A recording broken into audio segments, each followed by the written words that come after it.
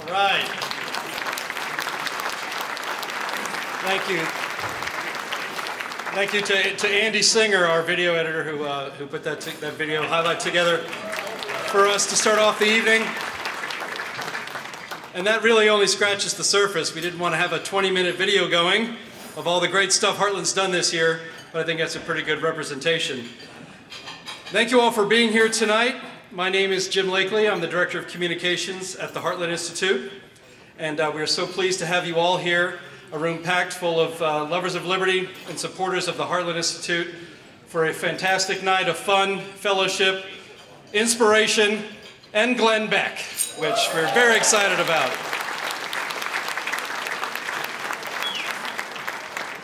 Now, as we start our program, we want to acknowledge the passing of three important members of the Heartland family. Lee Walker, Frank Resnick, and Chuck Lang. Reverend Corey Brooks will be on the stage later on tonight to talk about Lee Walker. Now, on Frank Resnick, I, I did not know Frank Resnick. He was before my time at the Heartland Institute. And I really cannot do him justice. But Frank Resnick was an early member of Heartland's Board of Directors, giving us his support and guidance at a vital time for this organization. Frank is undoubtedly here with us tonight in spirit, and he must be so very proud.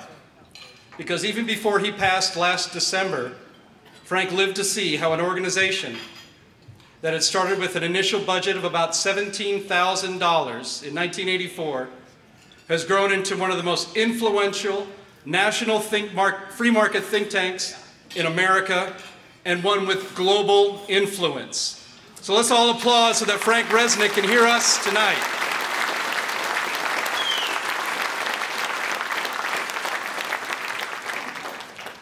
Chuck Lang was born on VJ Day, August, 20, August 14th, 1945. And that is fitting because Chuck lived his life as a tireless champion of liberty. And Chuck, I knew him a little bit, and he was the happiest warrior for freedom that I had ever met. He served on the Heartland Institute's board for many years and accepted the challenge of being chairman of the board in 2018. Unfortunately, a tenure of great promise was cut short when he passed in November of last year. After every conversation I had with Chuck Lang, I left bolstered with confidence and with a gladdened heart, and even more proud to be a part of this fantastic and important and influential organization. So let's have a round of applause for his contributions to freedom, Chuck Lang.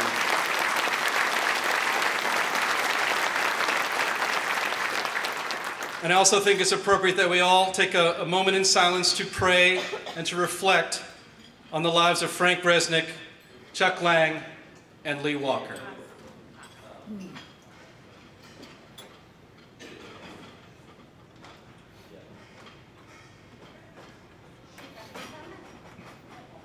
Thank you. And we gather here tonight to honor their dedication to the cause of liberty and to ensure the strength of this organization that they help build endures for many more years to come, that it outlives all of us here in this room. Because the cause of liberty, as our founding fathers understood, is always under threat. Liberty hangs by a thread, always. Every generation of Americans hands off to their next their hard-earned legacy of freedom. But the history of human civilization teaches us that free societies can be as temporary as a season. Are we living in a transition phase right now, moving from the warm sun of liberty's, of liberty's summer into an autumn in which liberty is beginning to fade? I hope not. You say no? You hope not? We must make the coming generation understand why they must cherish, protect, and fight for their liberty. And not for our sake, and not for the sake of the great men and women who founded the most free and prosperous nation in the history of civilization. No. We must convince the coming generations that they must reject socialism and embrace freedom for their own sake. That is why the theme tonight is stopping socialism.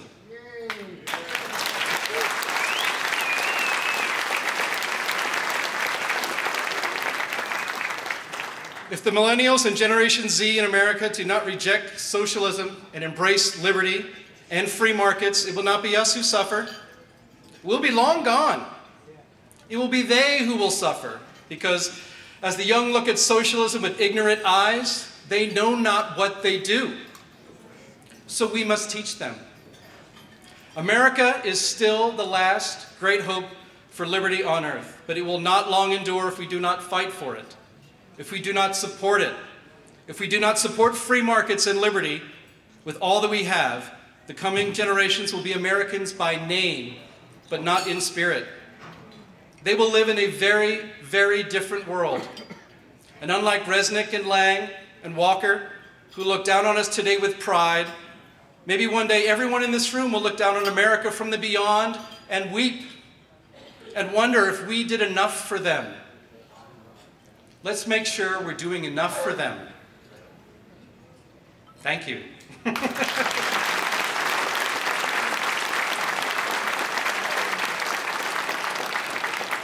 And part of doing enough for them is your presence here tonight. And for that, all of us at Heartland Institute, thank you.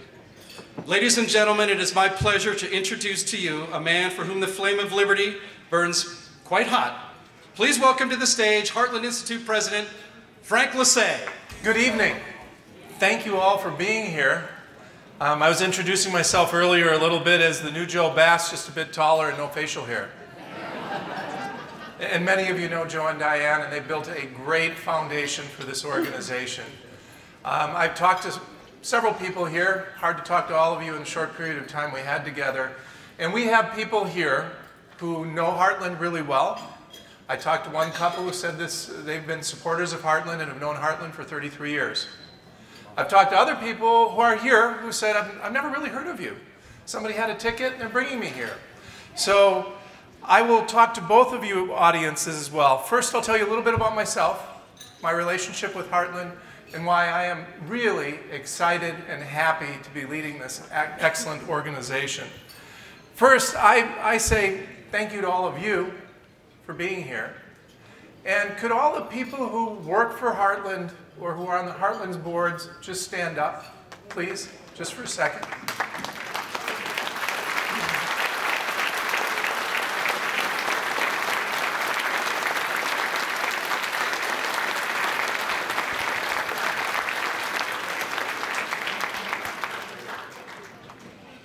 Really are nothing without the good people that do the good work at Heartland. I've had a long association with Heartland because I started in the state legislature more than 20 years ago in Wisconsin. I served in the House and the Senate and in Governor Walker's administration and workers' compensation. I have a strong background in, in um, insurance and property rights, real estate, landlord-tenant law, as well as weighing in on all the freedom issues that were out there. When I started, I came to Heartland because I was thirsty for ideas and solutions from a free market pers perspective, and our organization does a tremendous job at that. Many people don't understand that we are a nationwide organization, that we market our ideas, we discover and work them into reasonable real-world solutions. So we don't just discover and have an ivory tower and write a paper and say this is a great idea. We turn them into real-world solutions and then we market them to legislators both in the states and federal government. All 8,400 of them. And we send them four publications 10 times a year that talk to them about issues that are important, what's going on in other states, why it's important to them. And 80% of the legislators actually read our stuff and 45% say it's influenced their decisions and their votes. That's what this organization is about. We're very unique in that space. There is no other think tank that does what we do from a freedom perspective that talks to all 50 states and to our nation, national government. And by the way, one half of the federal legislators, one half of our congressmen and U.S. senators have served in state legislatures. So, like I started 20 years ago and wanted information, wanted perspective, wanted ideas, wanted knowledge on important issues, we get to talk to many of these legislators when they first start out. This summer, we just had a, a EIS, we call them Emerging Issues Forum, um, forum uh, uh, and we talk about the issues that are important and what's going on in state legislatures. We had 80 legislators from 30 states who came and listened to what we said. We're having another one in December that will prepare them for their next session. Most state legislators, legislatures are meeting at the beginning of next year. I served in the legislature and I was looking for those ideas, and that's how I got associated with this organization. I pushed uphill against really both parties a taxpayer bill of rights to limit spending and taxing. My Republican colleagues weren't really interested in it. They didn't really like the idea. Every government out there was against it, and kind of like the climate change issue we're fighting right now, they put out a lot of misinformation. It became the, the second most lobbied bill after the state budget, two sessions in a row, so over four years. It became a big issue, and eventually I wasn't able to get it added to the state constitution, but we did pass controls on spending in a lot of different places in government, just not on the state. So it had a real world effect, and that's what we're really about and what's really important. I want to see them staying on schedule here. Otherwise, watch out. You know, in recovering politician, I could talk for a really long time. But we have to save time for Glenn Beck. And by the way, Glenn Beck was against Trump and now he's for Trump.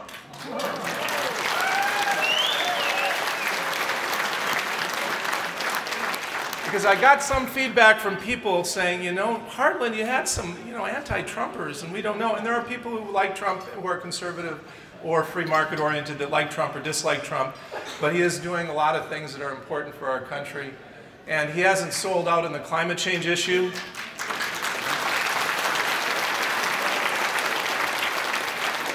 And climate change is really important because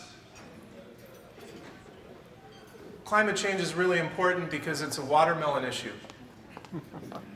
You say, well, what, do you, what the heck do you mean by that, Frank? It's green on the outside and red on the inside. It's really just a method to get control of one of the cornerstones of a free market economy. And earlier you saw that we have to have abundant relatively low cost energy and it needs to be abundant and they understand this and if they can get a control on this in every aspect of your lives. And what's really disingenuous and you, you, we're not here to talk about that issue but it's a major issue because it's being used by the other side to get to socialism. Our answers to this crisis that is invented that isn't real that they lie about on a daily basis and the lies are so extensive and regular. I just talked to James Taylor, who works on this issue dedicated every day. That yesterday there was just another article, throw, kind of a throwaway article. It's regular, every day. That there's so much, like Ronald Reagan said, there's so much that people know that simply isn't true. Or as, or as um, Mark Twain had said, if you read a newspaper, you're misinformed. And if you don't read a newspaper, you're uninformed. And it's kind of the same way when you turn on the media. So there was an article that was talking about how in Vietnam, climate change is wrecking farming. And we just did a real quick search, and harvest over the last 10 years on the same acre of land in Vietnam is up dramatically. They've planted more land than they did before. But yet this article just says, oh no, it's wrecking farming in, in Vietnam, and people look at it. And this is going on regularly, and we are going to do more to combat it. Because if they're lying about these kind of facts, there's a hurricane. Oh, we have lots more. Facts are we had more in the 50s and more in the early 1900s than we have today. They'll say, oh, well, it's causing droughts. Well, fact is, we have a slightly warming and slightly greening world, and it's better for people. And plants like CO2. And we like people.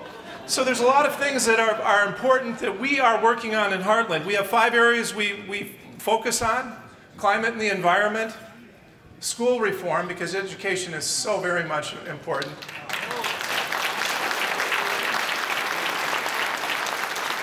Healthcare reform, which is really important to all of us. Budget and taxes, and now fighting socialism.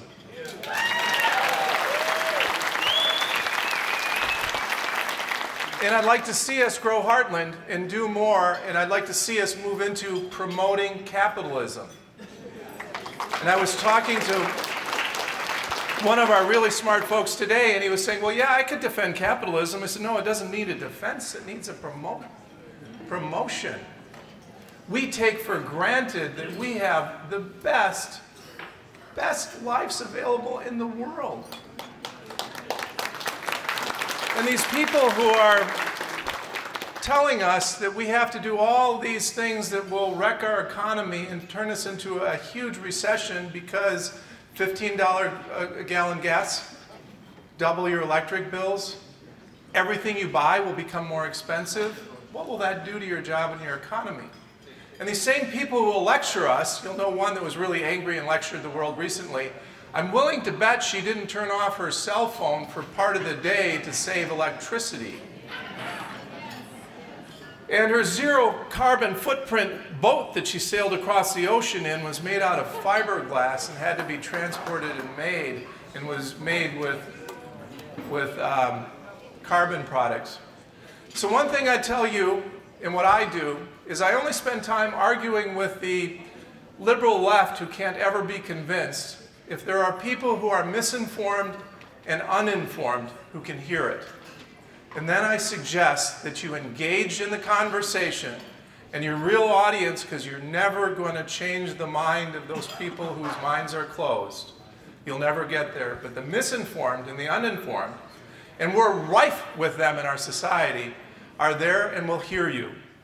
So I'm excited about leading Heartland. I think we have a fantastic organization. I think we have a deep foundation. Thank you, Joe and Diane, for creating that deep foundation.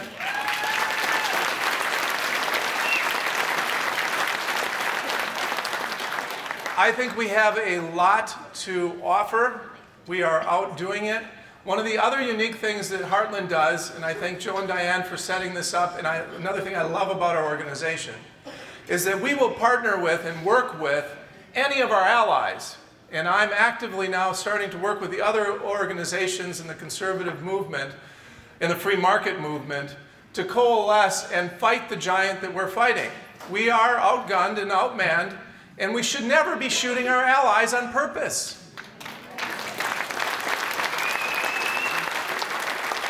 And we are all allies. We aren't competitors. Someone else, oh, is that, is that other think tank, is that other group a competitor of yours? No, they're not competitors, they're allies, and there is plenty of enemies for us to work on. So that's another area that we are working on and we're going to promote in Heartland.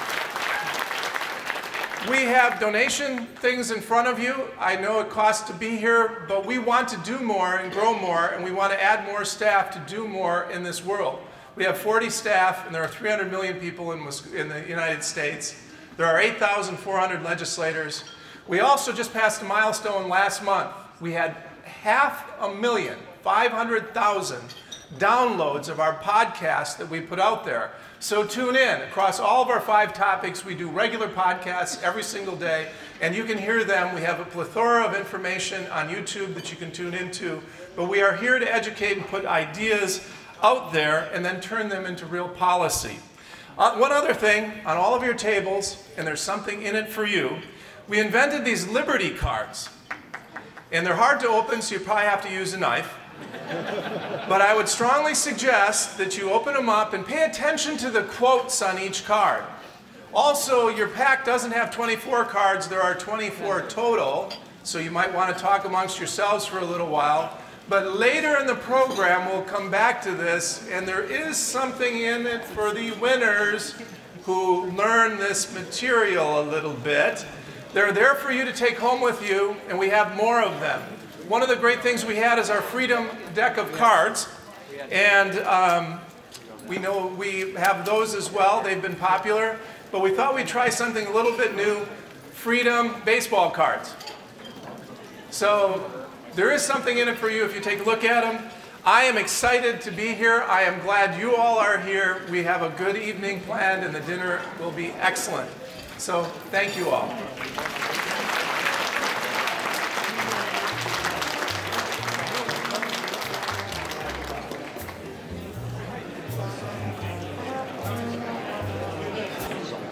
Ladies and gentlemen, please welcome to the stage Pastor Corey Brooks. Hello, hello, hello, hello. First of all, thank you for allowing me to be here tonight. My good friend Jim Oberweis, who everyone should vote for.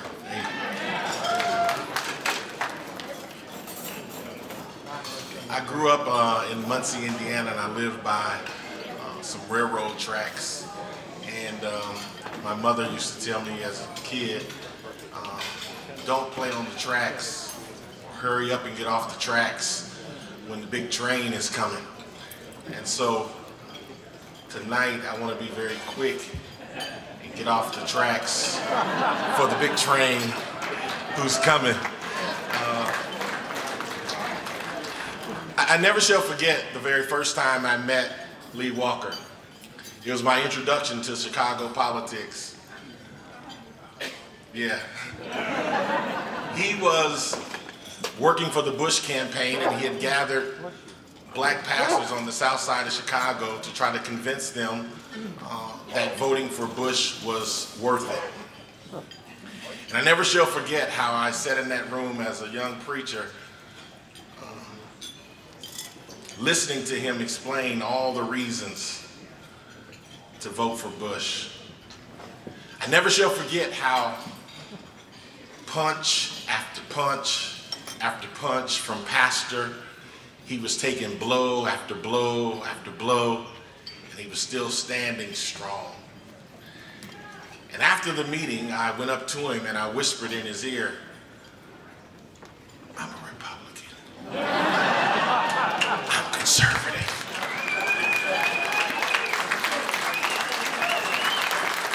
And he had the biggest smile on his face, and he was the only one for years that I told uh, I was a Republican conservative on the south side of Chicago. And every time he would see me, he would say, Are you still running? Are you still running? And I knew what he meant. He was asking me, Am I still running from the conservative call and making it public to people on the South Side. A few years ago, some of you know my story, I went through some very bad attacks because I decided to take a stand and let everybody know on the South Side of Chicago that I'm conservative, I'm Republican, I'm black, and I'm proud of all of it.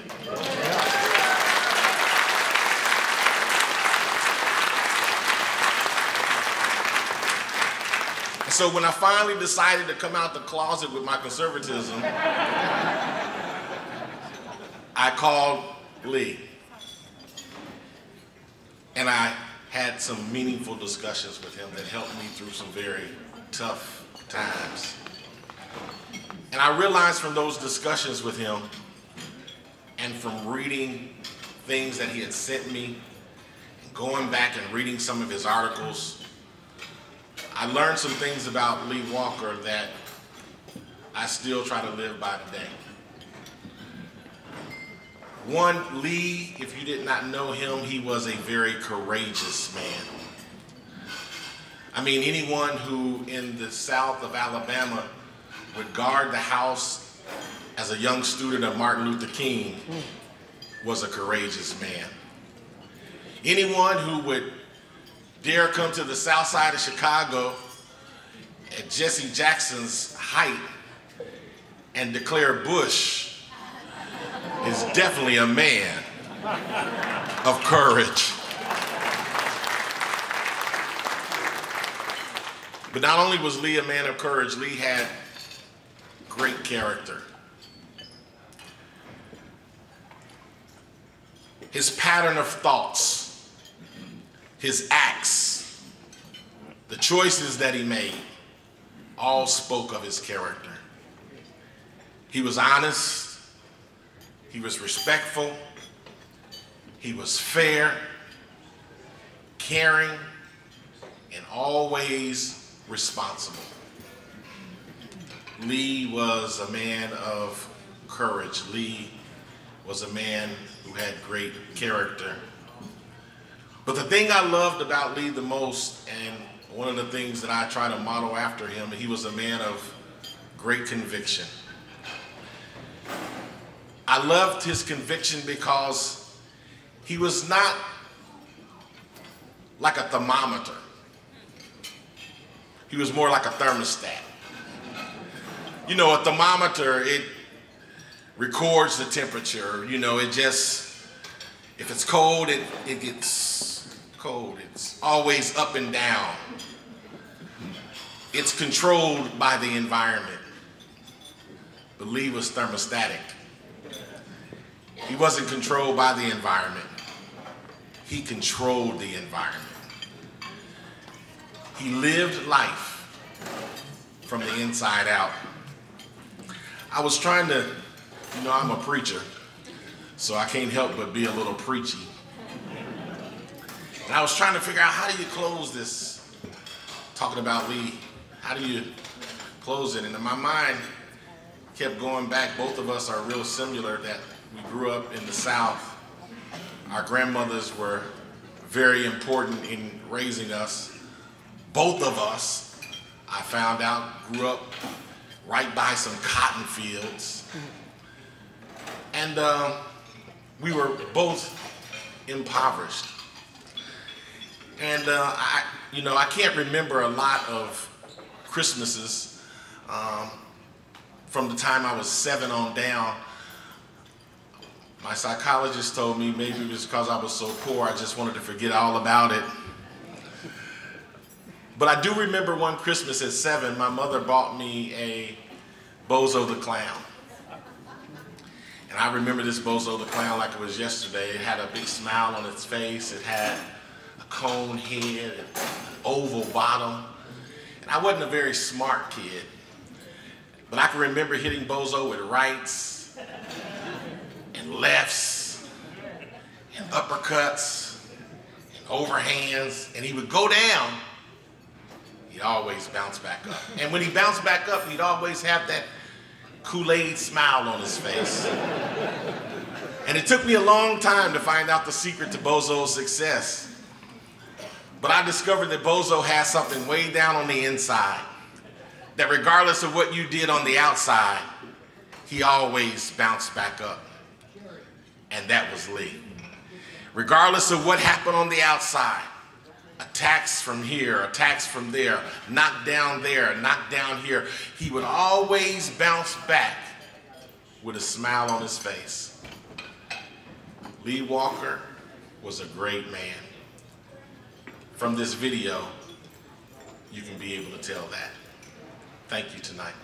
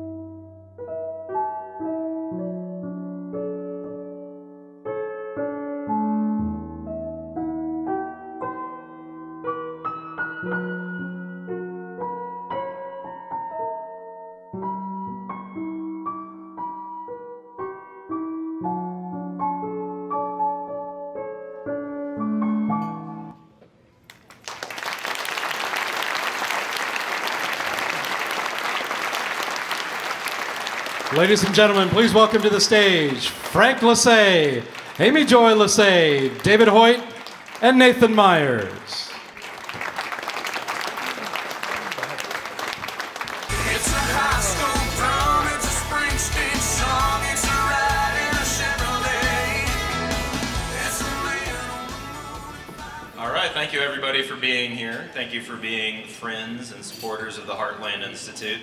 We have tonight our raffle prize, which, in light of our speaker, who I think is one of the great purveyors of historical knowledge in American culture, uh, we wanted to have a raffle prize that would befit such an occasion. So, what we have here is a World War II flight helmet.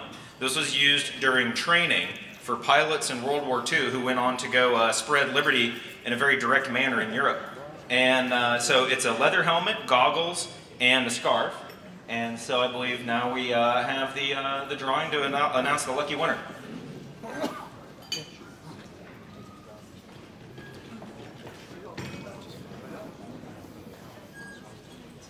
It's Providence. Sure. All right, so everybody get your tickets if you have one. Hopefully everybody does. And the winning ticket number is 805038. We have a winner.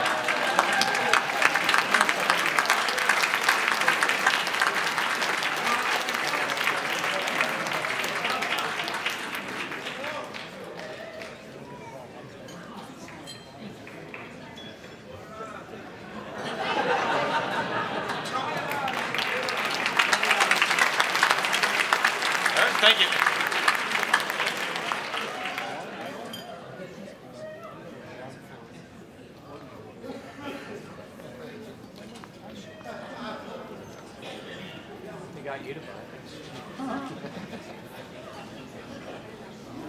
All right, folks, really quickly here, remember those cards I told you about earlier? We're going to do something, but us raffling off that fighter pilot's uh, helmet or training helmet uh, reminded me of they had problems in World War II with um, parachutes not opening. And they had hired a bunch of people, and the war effort was big and strong, and people would jump out, and they, their parachute wouldn't open. And they tried to solve this problem, tried to solve this problem. They had a meeting of all the top brass of the military, and a very young lieutenant raised his hand and said, I, I can solve this problem, but you have to let me do it my way. And they said, sure, I guess go ahead, it's a big problem. So he said, okay. He went into the room where they were folding these parachutes up and putting them in the corner, and he said, all right, this is how it's going to work today. Everybody's going to work hard, you're going to do your parachutes, and at the end of the day, each one of you at random is going to pick a parachute out of the stack, and we're going to go up and you're going to jump. And it worked. So if everyone would stand up, and what you are all going to, those last two people at each table, the very last person gets the first choice. The second to the last person gets the next choice. There is a, should be an unopened bottle of wine at each of your tables, and if there isn't, let us know, because that's one prize. Oops. We, we have some more un, un, unopened bottles of wine, so if you are the winner, we'll get you one of those. And the uh, second prize, well, for some people it might be the first prize. For women non-drinker, non-wine drinkers, it's the flowers in the middle of the table. So this is a way, these are all one or the other. And one is put your hands up by your head so we can see what it is. Or if you pick the other one, you just put them on your hips.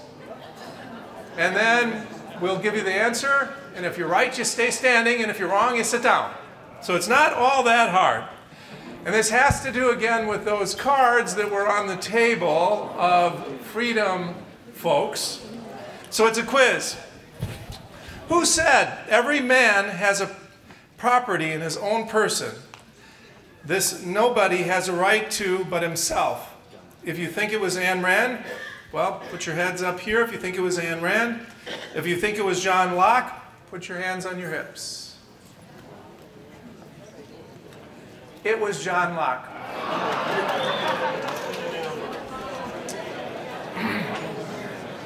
All right, we still have a number of people. Who said if socialists understood economics, they wouldn't be socialists? if you think it was Frederick Hayek, hands up. And if you think it was Milton Friedman, this is a tough one. If it was Milton Friedman, put your hands on your hip.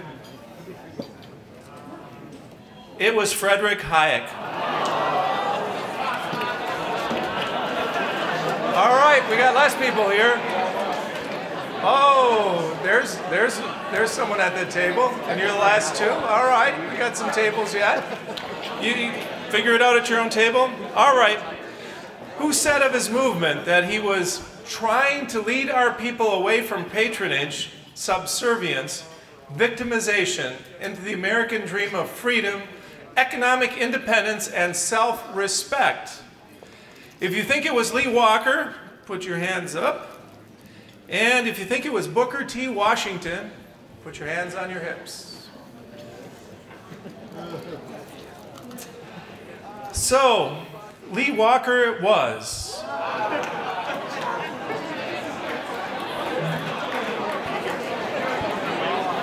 How are we doing out there? We still need another question or two. Who said it's easy to be conspicuously compassionate if others are being forced to pay the cost? If you think it was Margaret Thatcher, Margaret Thatcher, put your hands up. And if you think it was Murray Rothbard, put your hands on your hips. It was Murray Rothbard. So how are we doing? Do we need some more questions? We need a few more questions. All right. Who said the advancement and diffusion of knowledge is the only guardian of true liberty. The advancement and diffusion of knowledge is the only guardian, guardian of true liberty. If you think it was Thomas Jefferson, hands up. And if you think it was James Madison, put your hands down on your hips. It was James Madison.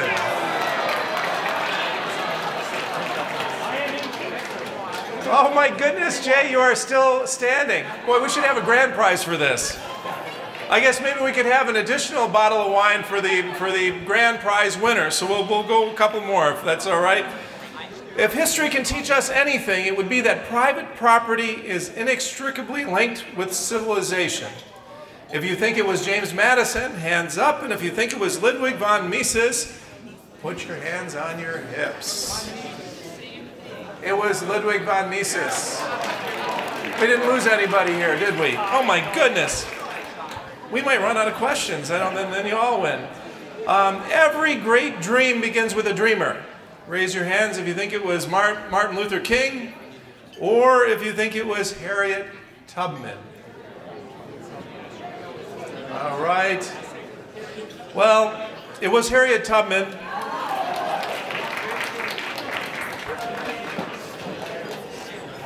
We still have more. Okay. Man is not free unless government is limited. There's a clear cause and effect here that is neat and predictable as the law of physics. As government expands, liberty contracts. Hands up if you think it was Ronald Reagan, and down if you think it was Milton Friedman. You made your choices?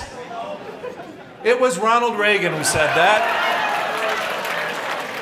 Are we almost? Oh, And we have a young gentleman. Oh my goodness. Oh, and you're, oh my. So we got some young folks who learn fast, or were really smart. So this is the last of my prepared questions, so whoever is still standing after this, you're all winners. Great difficult, yeah, we should just keep going, but I don't have more in my script and we don't have time. We could be here for a long time, how smart these people are. Great difficulties may be surmounted by patience and perseverance. Actually, that's a really good one. Great difficulties may be surmounted by patience and perseverance. Raise your hand, put your hands up if you think it was George Washington, or if you think it was Abigail Adams. It was Abigail Adams. We have two winners. I think if I see everything right, three winners. We have three winners. Fantastic. Talk to someone here on staff and we'll get it figured out. Thank you all. We're moving along with our program. Oh. We also want you to fill out the survey if you would. It's uh, also, we're interested in things that you think so that we can do more of things that you think are a good idea. So we would appreciate your input on that. I hope you all continue to enjoy a good evening. I'll say something at the end a little bit, but only a little bit. Keep having fun.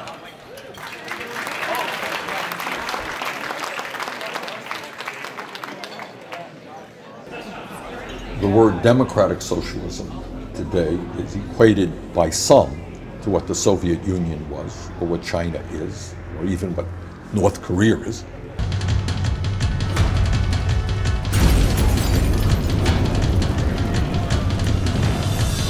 When I talk about democratic socialism, you know what I'm talking about?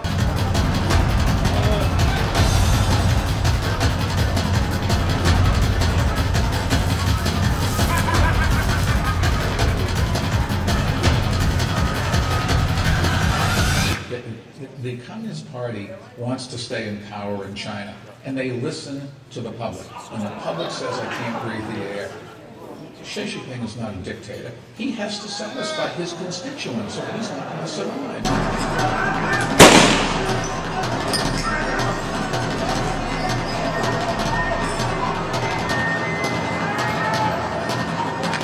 Hell yes, we're gonna take your AR-15, your AK-47. There's a huge difference between socialism and democratic socialism.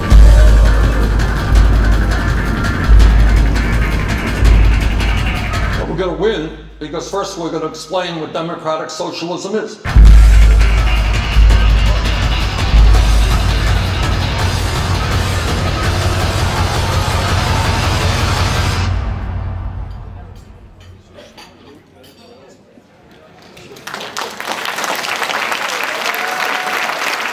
And gentlemen, please welcome to the stage Heartland Institute editorial director Justin Haskins. Good evening, comrades. Uh, it's great to see all of you. Uh, I'd like to begin by saying a sincere thank you to everybody here tonight. I've been working at the Heartland Institute now for more than five years, and these annual benefit dinners are always a very special time for, for me and for all of us who work at Heartland because it gives us an opportunity to see old friends and meet new people and most importantly, to say thank you to all of you who have helped to make the Heartland Institute the truly remarkable place that it is today. So thank you so much for being here tonight. Uh, before I get started on my mission tonight, which is to absolutely destroy socialism, uh, I want to start. Yeah, I want to start uh, by sharing with you some of the many things we've been doing at the Heartland Institute in this topic area. Um, in many ways, Heartland is leading the charge in the fight against socialism, and we're hoping with your support we'll be able to expand our efforts going forward in the months and years to come. So, um, uh, how we started, Heartland's Stopping Socialism Project began a little more than a year ago when myself and Donald Kendall, who's lurking about somewhere in the back, he's a graphic designer here at Heartland and also host of the wildly popular podcast In the Tank. Subscribe on iTunes now.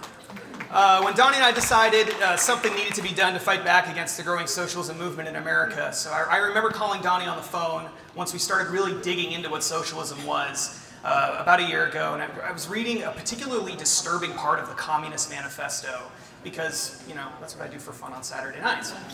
And uh, I telling him I had this crazy idea to make a website dedicated entirely to the issue of socialism and to write a book that would connect with younger people and, and general audiences. So usually when I come up with a great idea, which is a lot, uh, Donnie, who's sort of like my work wife, um, he loves that I call him that, by the way. uh, is the guy at Heart. He's the guy at Heartland who's responsible for reining me in. Usually, that's his job. Um, often by telling me that I'm an idiot. Uh, he's pretty good at that, by the way. Uh, but this time he agreed with me, and he said we needed to do something about this because socialism, um, especially among people our age, is becoming increasingly more popular. And so uh, we created StoppingSocialism.com, published a short book titled Socialism is Evil, which, by the way, is available for free in the back if you're interested, and on some tables, is my understanding. And uh, since then, we just had so much success. It absolutely took off. It's been incredible. Uh, Donnie and I have given presentations about socialism at major conferences across the country, including Students for Liberty's LibertyCon in Washington, D.C., the Western Conservative Summit in Denver, Colorado, and at CPAC, of course. And in five days, we're headed off to Seattle to speak to a, uh, a large conservative women's organization. We're really excited about that. Um, those of us working on the Socialism Project have appeared on countless national um, media networks.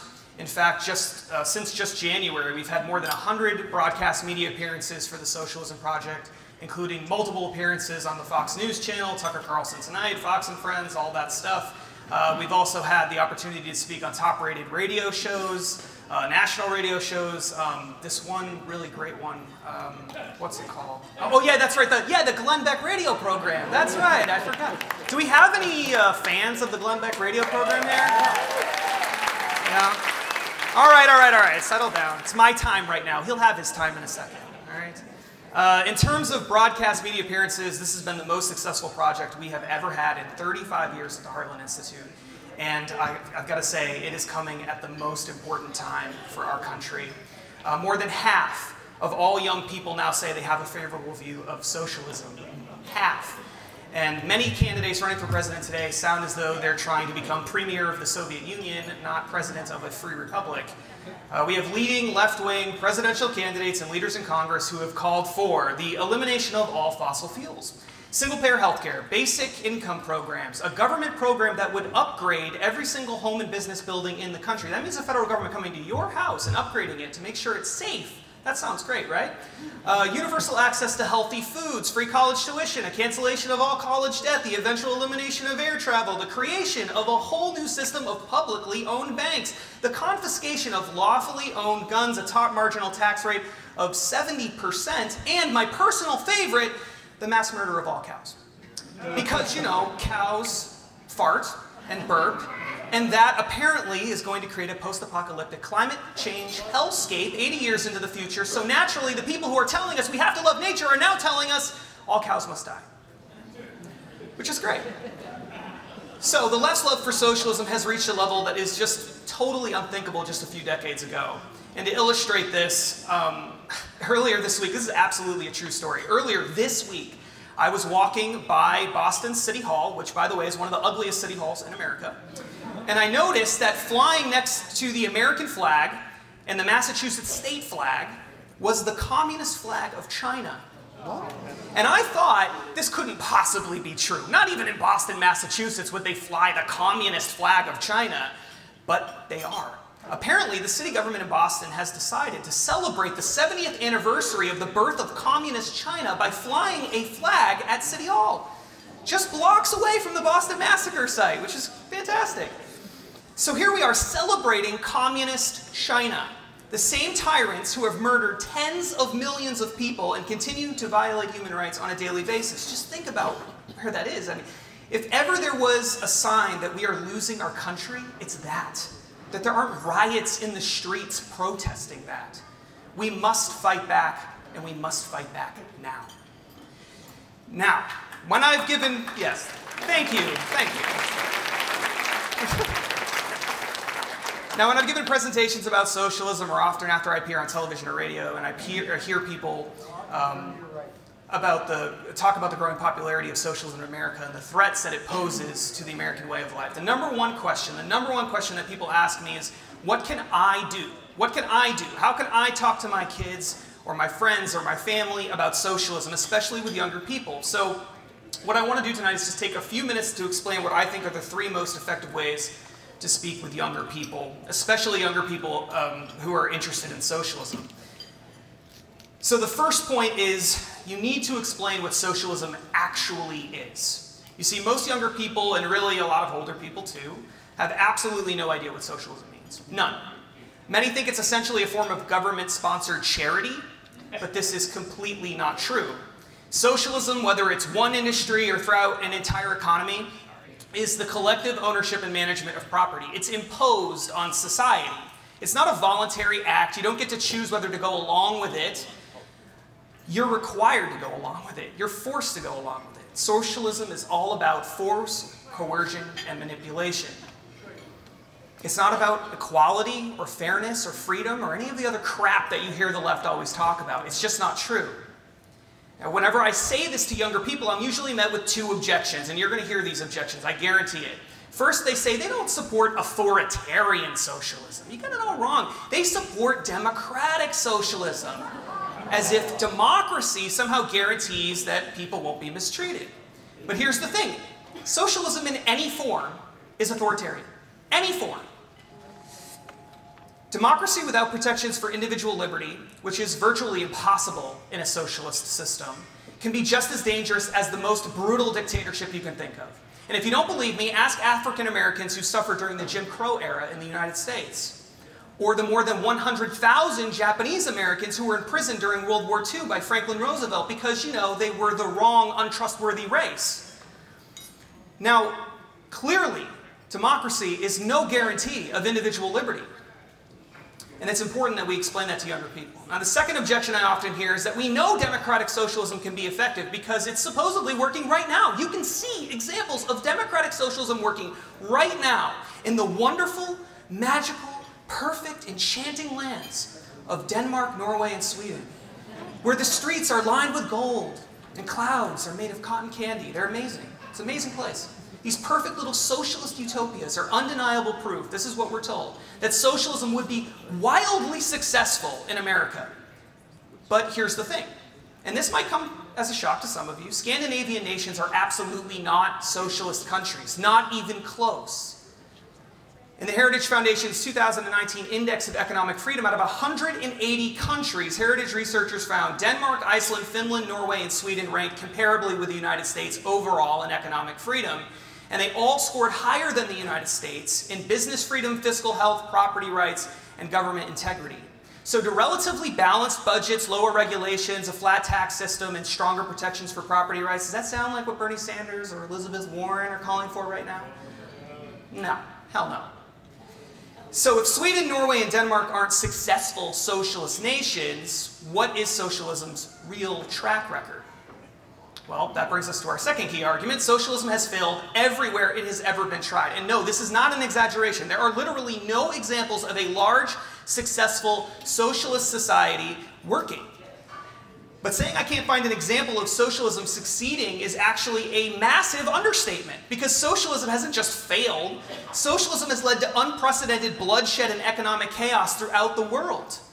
In Angola in the 1970s, as many as 20,000 people were killed by the socialist government.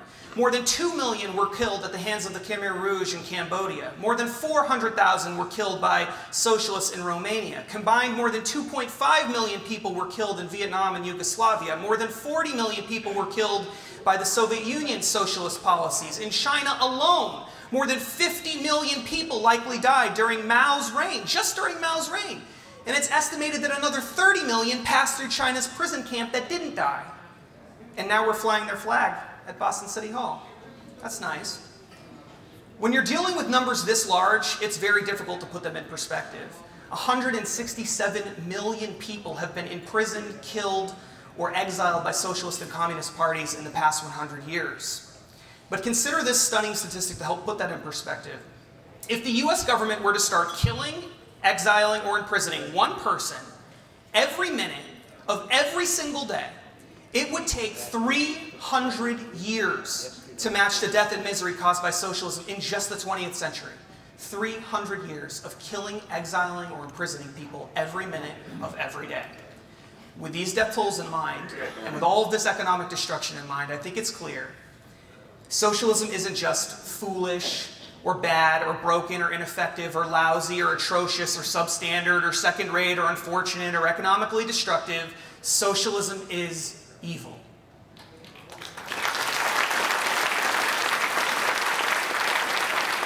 It's immoral. It's wrong on every single level. And when faced with these realities, people will often make excuses. You're going to hear this from younger people, especially. They'll say things like, that would never happen in America. Or we can find a way to fix those problems. We can learn from the mistakes of the past. We can do better than the other socialists did. But that's literally what every socialist society says, always. None of them think they're headed for tyranny, gulags, blood in the streets, or even just a good old fashioned socialist economic collapse. Nobody thinks that's going to happen. And yet, that's where it always ends up. Every single time. Socialism always fails, and it fails whether it's occurring on a large scale, like it did in the Soviet Union and China, or on a smaller scale, like we've seen here in the United States. It always fails. So, can government save us from all of our problems? Even just in one industry? Well, let's take a look at the track record of government here in the United States, shall we? Let's first start with the Postal Service. It's just delivering mail. It lost $3.9 billion last fiscal year. $3.9 billion. How about Amtrak? That's just running trains. In 2018, Amtrak had the best year it's had since 1973. The best year. It lost $168 million. Speaking of trains, have you heard what happened in California? This is fun. In 2008, California voted to create a high speed rail line that would run from Los Angeles to San Francisco. But by the middle of 2018, the high speed rail line was more than a decade behind schedule, and its final cost projection was $67 billion more than the original. Things became so bad, so toxic politically, that they gave up in the middle of construction. But that's not the best part. It's not, that, it's not just that they gave up on construction. It's that the brilliant minds in California decided they would start the rail line in the middle of these two cities, the Central Valley.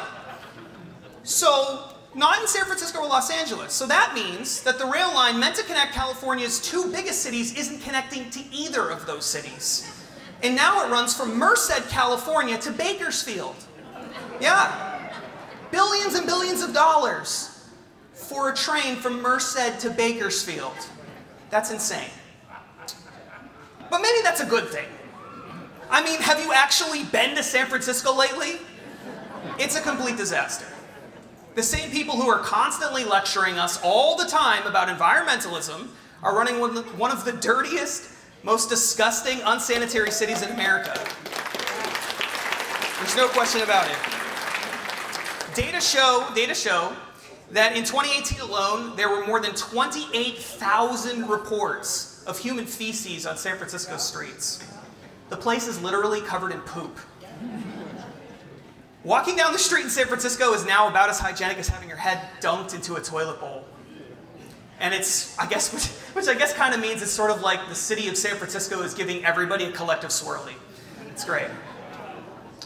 So the same government officials who can't properly manage the Postal Service or Amtrak or California high-speed rail or even keep city streets free from human excrement, these are the people who are going to be running every aspect of our society in the future.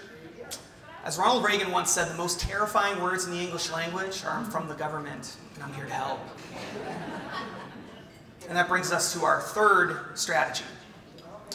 We can't just, we can't just rely on facts and figures. We need to become storytellers.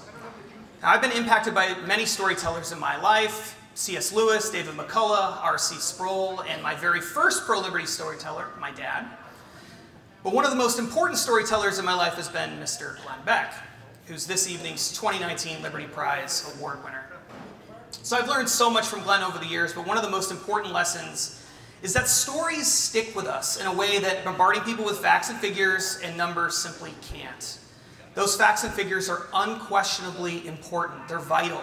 But stories play an important role too, because they personalize and humanize ideas. They make the distant and abstract and alien feel near and deeply personal. This is an important lesson. This is one, uh, it's a lesson that many of us often forget when we're talking to younger people about freedom. Now, I've probably heard Glenn tell stories, especially about American history, literally hundreds of times throughout my life. But one story in particular has had a special impact on me. So I'd like to very briefly share it with you tonight before inviting Glenn to come to the stage. So I'll probably butcher it, Glenn, but I'm going to try my best. All right, so the story takes place on New Year's Eve, 1776, on the banks of the Delaware River, not far from Trenton, New Jersey. This is several days earlier, this is New Year's Eve, remember, several days earlier, George Washington and his troops had just pulled off one of the most stunning and important military victories in American history. On December 26th, against all odds, in absolutely brutal winter conditions that one soldier described as a snowy hurricane, Washington managed to cross the ice packed Delaware River, surprise the Hessian soldiers who were fighting for the British at Trenton, and win a remarkable battle at a crucial moment in the war. On December 31st, Washington and his soldiers were nearly ready for a second engagement, but before marching off to war again, Washington faced a tremendously difficult situation. You see, the enlistment for many of his soldiers had nearly run out. On January 1st, Washington's enlisted soldiers were free to return home. They didn't have to stay.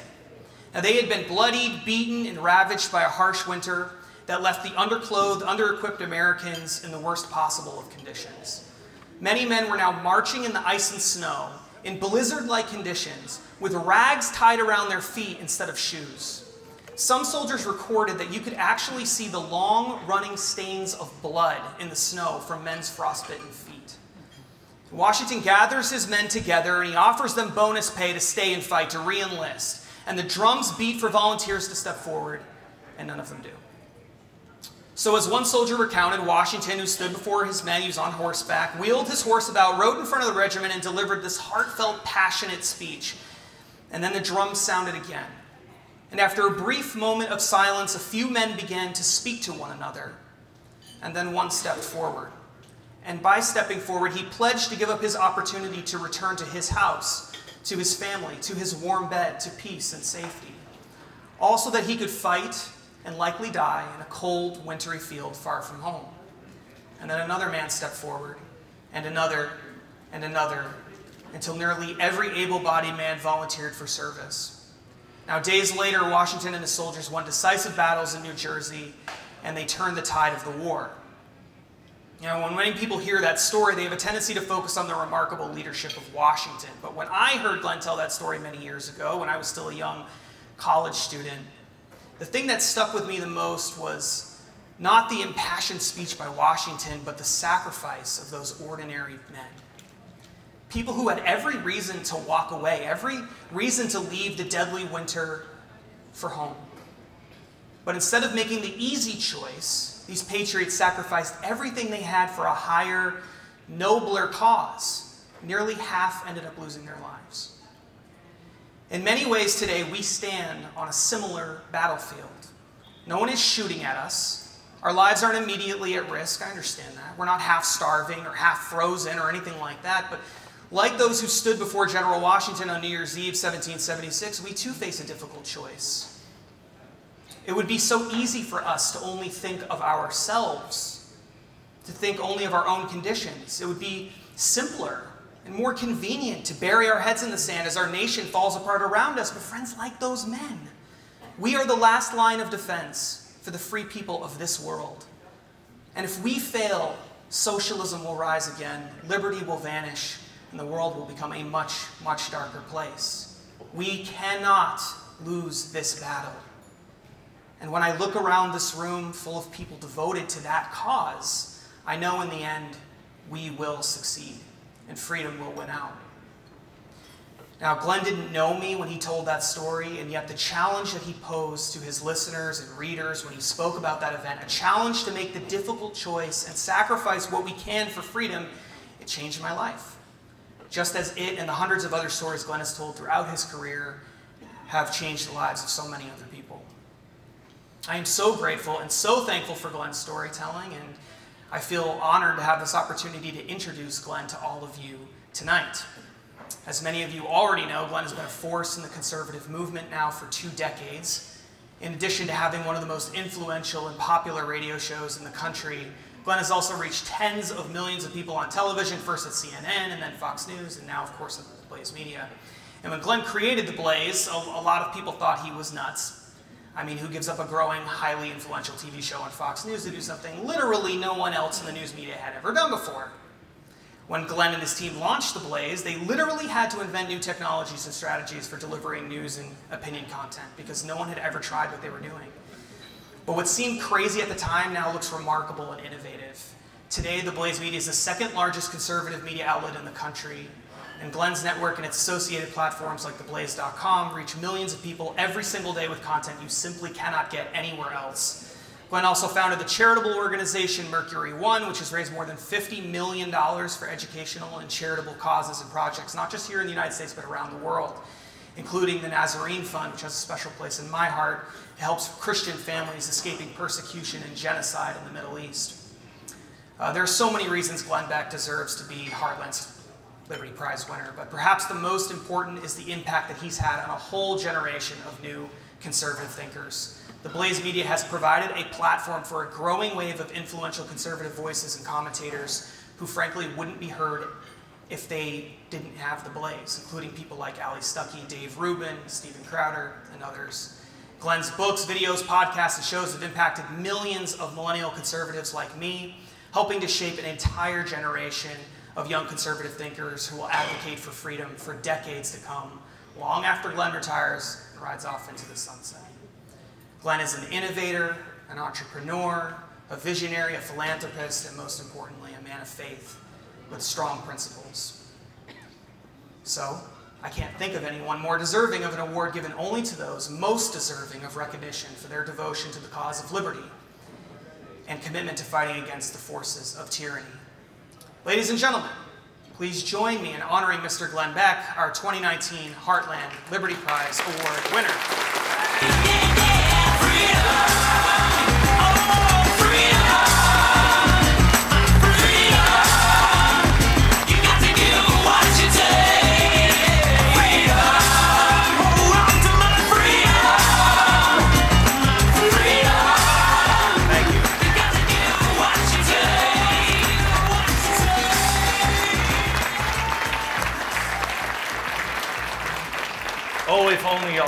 Stuff that he said were true. Uh, thank you so much for inviting me. I'm, I am so honored um, to be here. I am, I, I'm floored um, by that introduction. Um, I appreciate it. I want to talk to you a little bit about another way to go against socialism. I think what the Heartland Institute is, is doing is phenomenal, phenomenal work. When I went to CPAC, I watched Justin, and I, I watched him, and I watched the people in the room that were listening. He is brilliant. The research that he has done, it's why, and I don't think anybody knows this yet, it's why I asked him to co-author my next book, Arguing Against Socialism.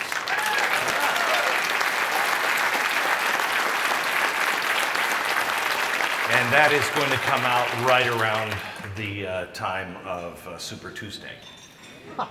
And it's going to be fun and right directly between the eyes because we are losing our country, but we're losing our country not because, just because, we haven't made the argument against socialism. I mean, when I was growing up, I remember I was scared out of my mind by the Soviets because I thought we were all going to be vaporized. And we were very clear on good and evil. But we kind of, and I say kind of, knew who we were. So tonight, instead of talking to you about socialism, I would like to talk to you about us. I'd like to remind you who we are. Because this is the biggest problem in the country right now. The biggest problem in the country is we have absolutely no idea anymore who we are. And I want to share some stories with you. Because what we're told now is that we are we are just we're a country that was started by a bunch of racists. I want you to know I, I have more. In my, I wanted to start with Columbus and the Pilgrims and try to get to about 1970. I might get to 1930, uh, and I'm cutting out Columbus and the Pilgrims. I just want to start with the founding of our nation. We are told that these were greedy men. We are told that these are, they, how could Thomas Jefferson write The words, all men are created equal and endowed by their Creator with certain inalienable rights, among these, life, liberty, and the pursuit of happiness. How could that man write those words? We know he didn't mean it because he owned slaves. Well, I brought with me an 1820 engraving of the first draft of the Declaration of Independence. This is in his handwriting. And you will see if you if if you kind of can just kind of come all in, you can see there are corrections. And over here on the side, it's almost like a Google Doc. I hate those guys. Um, it's almost like a Google Doc. It says who changed it and why. So this one here says uh, changed by Dr. Franklin. This is Mr. Adams. And they changed it all the way along. Now, when you get to the usurpations part, because the, the Declaration of Independence is the greatest document. Tomorrow on a podcast, I'm talking to a woman who was raised in England by a, a, Muslim mother and father who were not extremists, but they were still living, you know, a very different life, separate from the culture. And then they moved, and they moved to another side of London where she became an extremist. And she married a guy whose father was a U.S. general. In Texas, she moved to Texas to hook up with this guy, an American, who had become a, an Islamic extremist, really pretty much just despite his dad. They get married. She's full burqa. He goes to prison for 18 months. And in those 18 months, this is the first time she had ever been left alone. She could do what she wanted in her own house. And so she started reading. And one of the first things she read was the Declaration of Independence. And her eyes opened up. She told me just the other day, I had never heard anything like that before. That was a completely foreign concept. As soon as I read it, I knew it was true, but I had never heard anyone say those words. Let me go back to Thomas Jefferson.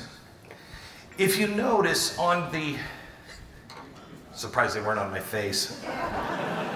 By the way, let me just get this out. I know what everybody is thinking. My gosh, he looks like Colonel Sanders, who's just been stung by bees. I know, I know.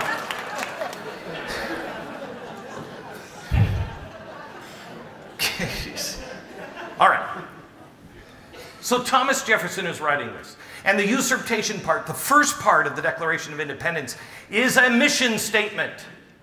It says, look, guys, we're going to have to break up. It's the world's greatest breakup letter. We're going to have to break up, and this time it's not me, it's you. and so we have to break up. And let me tell you why.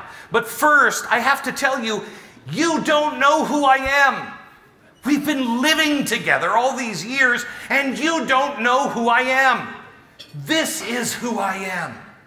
I believe that men should be free. I believe that the individual is what counts, and I am equal to you, the king. Wow. Then he says, and we've tried to talk to you about this. You don't pick up your underwear. You don't pick up your socks. I'm constantly having to wash all of the dishes. You're a bad king. It's the usurpations. Most people just skip over that. You shouldn't, because some of them are beginning to look very, very familiar. But in the first draft, if you, if you look at the first draft, you can find this online. You will find a section of the usurpations. Now I'm trying to find it, and now I can't see. Here it is, right here. This is at the very end. And if you look at it, his writing changes and he capitalizes. Now, in the draft that we all know, there's only the capitalization of the United States of America. That's the only thing that's capitalized. In this, there's two additional words that are capitalized, and that they're end of the usurpations the word men and the word Christian. And I want to share with you what he says. He's talking about the king, and he gets to the last one, and he says, Finally, this king has waged a cruel war against human nature itself, violating its most, uh, most valued rights of life and liberty in the persons of a distant land. A distant people who never offended him, captivating and carrying them into slavery in another hemisphere to incur miserable death in their transportation. This warfare, the opprobrium of infidel powers, is the warfare capitalized of the Christian king. He's mocking the king. How dare you say you're a Christian and you are doing this to men? You're violating God's most important right. How dare you call yourself a Christian?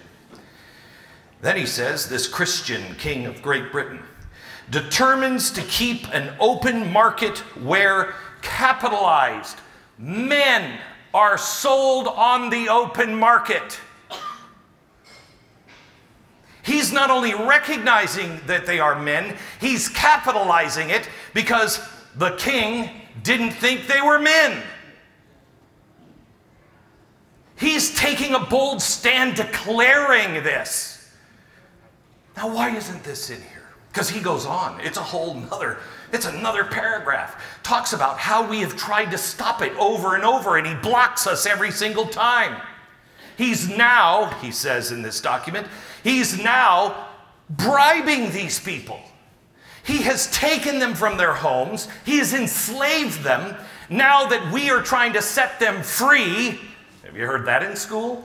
Now that we're setting them free, he is going and saying, I will pay you to go kill these people. He's committing a sin again. Now, why isn't that in the Declaration of Independence? Because if you read the Declaration of Independence, it says the unanimous declaration. Why was it unanimous?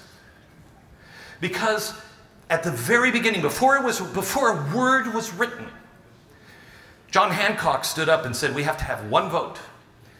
We're going to declare our independence. As everybody agreed, they all agreed. Thomas, you're going to write it. And here's the thing we have to take a vote right now. History will tell us that if we have any space between us, if we disagree on one thing, the king will send his people in and he will weasel his way in and he will split us apart.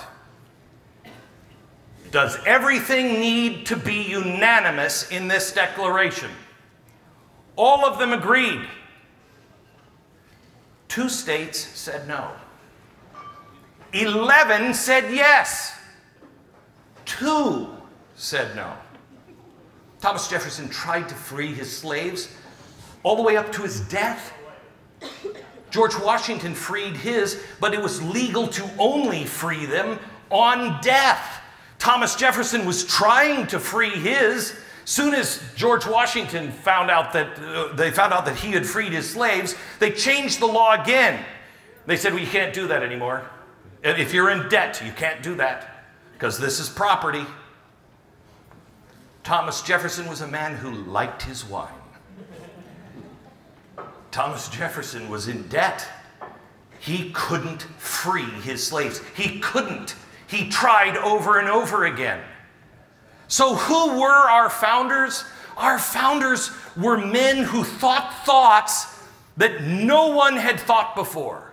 No one had the balls to say these things, let alone the intellect to think them and write them down.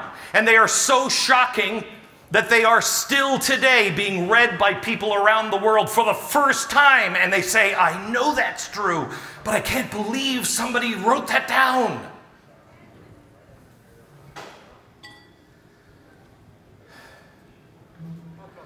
Who were our founders? Our founders were people who deeply believed. They didn't get along all the time. They didn't agree on everything. But they were willing to sacrifice their lives, their fortunes, for something bigger. For a dream that all of them thought would be done by 1820. None of them believed that this would last. And George Washington, George Washington, I have tried in history to find another man. Now you'll read about George Washington, they'll say, well, we don't really think he was like that. Really? You're going to dismiss everyone who worked with him, knew him, and wrote about him while he was alive and shortly after his death. Yes, well, we know better now. What are you using, a Ouija board? How do you know? I've tried to find another man. There's no other man that I've ever found except Jesus, like George Washington. Do you know what? Do you know when he ran? One of the people that was running against him the second time, he didn't want to. He didn't want to run again. He didn't want that job. Do you know what the biggest complaint was? The scandal on George Washington? It actually came from his mother. His mother was like, You don't want him. He spent. This is true. He spends way too much money on ice cream. That's the scandal. Okay? I love that guy. This is a guy, when he was 12 years old, did everything he could to figure out what a man is. What a good man is. By the time he's 12, he's writing his, his uh, book on civility. He's just writing for himself. What are the things that I should do if I want to be a good man?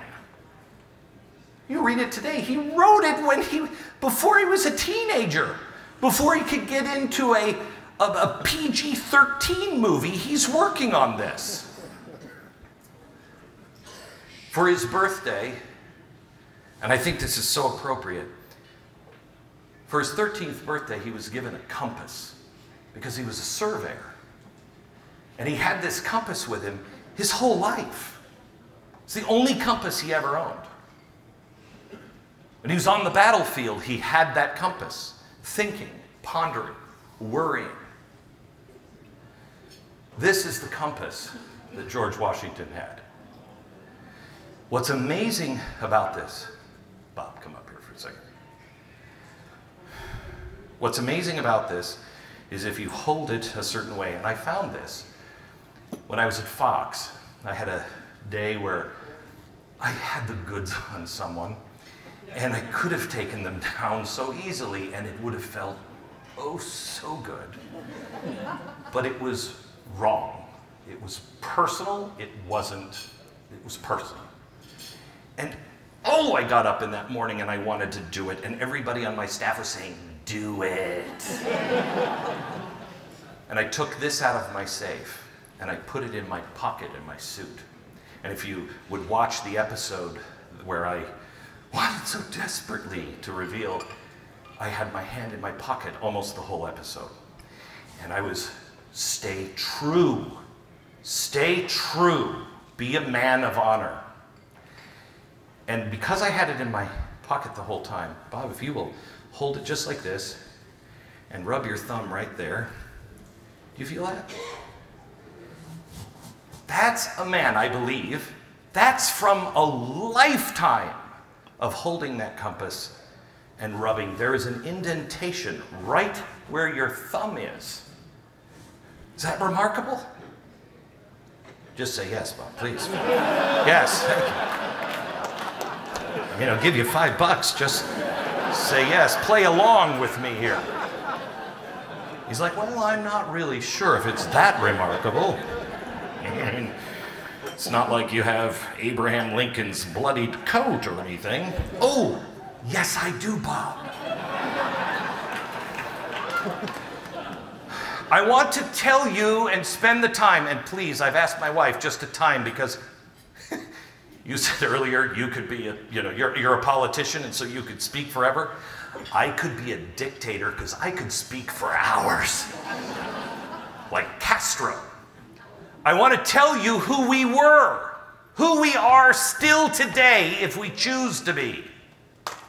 Abraham Lincoln, thank you for that pathetic, yeah, we, maybe we could be that. I think so, maybe.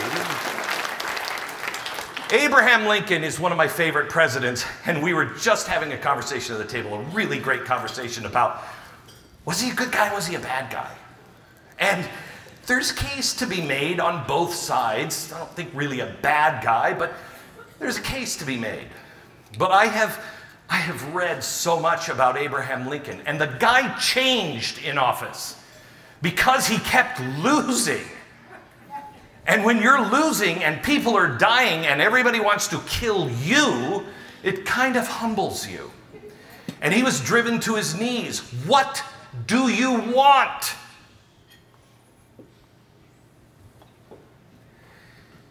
It's not about the Union, Abe. It's about humans. It's about slavery. He was trying to save the Union.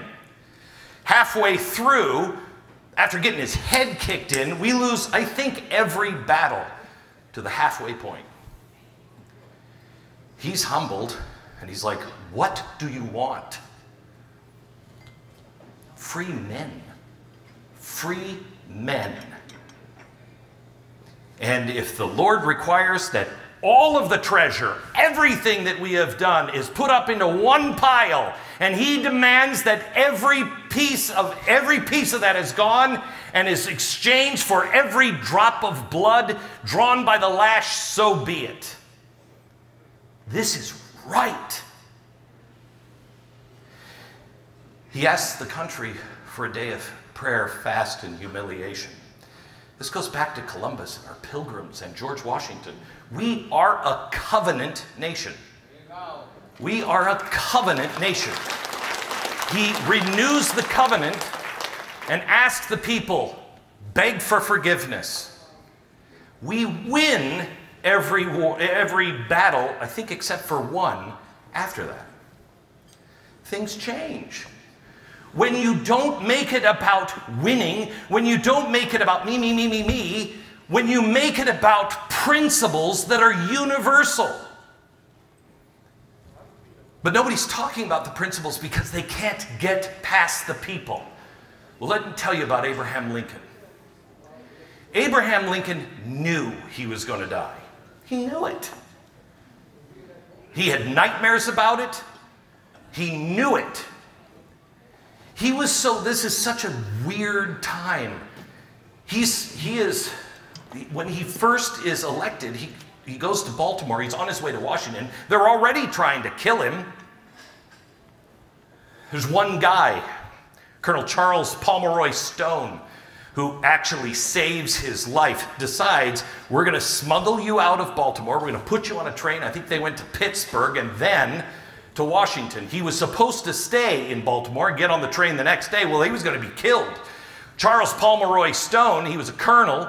He's the first guy that we had as a Secret Service kind of detail, and he went and escorted the president. He, they brought him into, I think it was a theater, and he comes in with his big stove, you know, stovepipe hat, and he's looking like Abraham Lincoln, and everybody knows who he is. And so what they do is they say, Mr. Lincoln, they bring him around a corner uh, in the back and they say, hunch over. They put a shawl over him and, and they're like, okay, we're going to sneak out. Except, please take the hat off. It's kind of a giveaway. So he takes the hat off and he's covered in this shawl and he gets into a carriage and they're going down the street and it's the first time he hears people talking about him and realizes, oh my gosh, they hate my guts. He's finally killed in the theater. What most people don't know is what a horrible, horrible way they treated him. And I don't mean just because of the medicine of the day. The doctor didn't know what to do. He had a hole in his head and it kept clogging. And so, the, believe it or not, the doctor kept sticking his finger in that hole, digging around, trying to find the bullet, and then just unclogging it. As he was laying in the box, one of the women who was in the play, she just wanted to be a star. Because John Wilkes Booth, he was like the Leonardo DiCaprio of, of our day, of that time. He was a big, big star. So his co star on some of the roles, this woman, very, very famous, why, she just, oh my, oh my, hear the president is, is ailing, and it gives me a case of the vapors. Please, may I just go up and hold the president? They said yes. And she's like, but first, I have to change my clothes. So she goes to her dressing room and she puts on a brand new all white dress. I am ready to comfort the president. She goes up, may I hold his head in my lap? And he bleeds all over this dress. She takes that dress on the road to talk about how she was the Florence Nightingale. And the best part of this story is, I don't remember her name.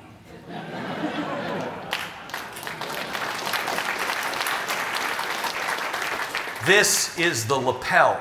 If you go to Ford's Theater, you will see what he was wearing that night. This is the lapel right here, this part.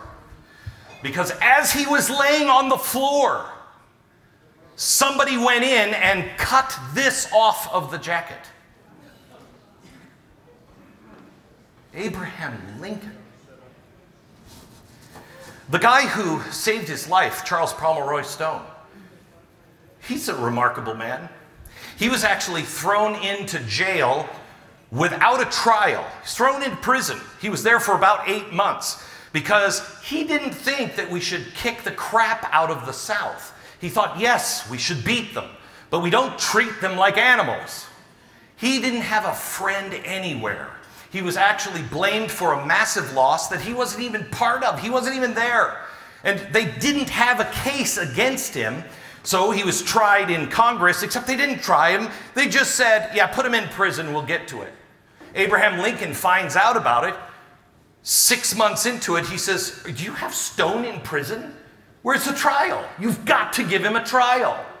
Release him or give him a trial. We're going to give him a trial. Two months later, still haven't. Lincoln said, Get him out of prison. But he had been so discredited that he, no one would hire him, no one wanted to be around him. So he left the United States of America and he went to serve other countries. He ends up in Egypt serving the French. Few years pass, he comes back to America and he's like, Has everybody forgotten who I was, or can you still find me on Wikipedia? Nobody wants to work with him, still, they still remember. Then one day, there's a knock at his door. He answers, and it's two soldiers. You Colonel Pomeroy Stone? Yes. We need your help. Excuse me? Were you in Egypt? Yes. And you worked with French? Yes.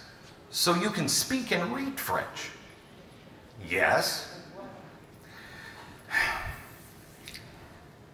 We got this birthday present.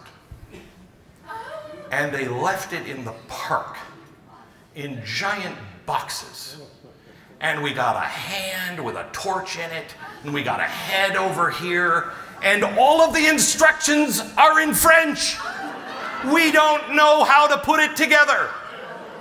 Will you help us?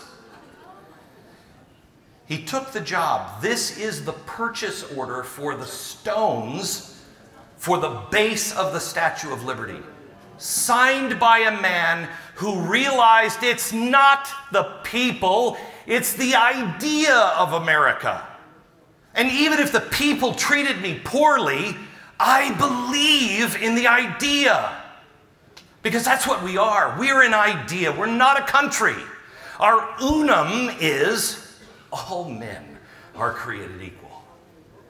You can come from anywhere. If you believe that, that's what brings us together. We have all kinds of differences. Let's celebrate our unum. Let's celebrate what actually matters.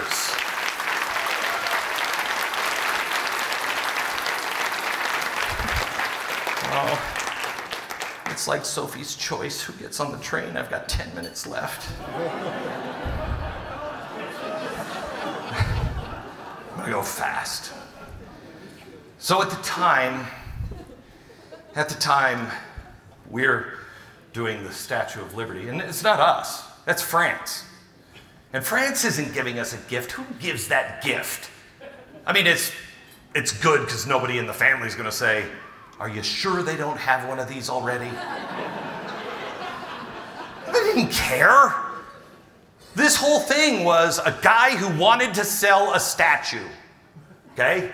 He wanted to sell a statue. And then, because Marx had started the Spring of Nations. Does that sound familiar? The Arab Spring.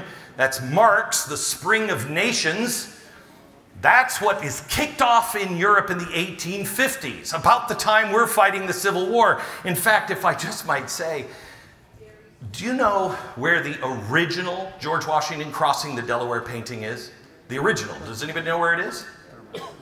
Where?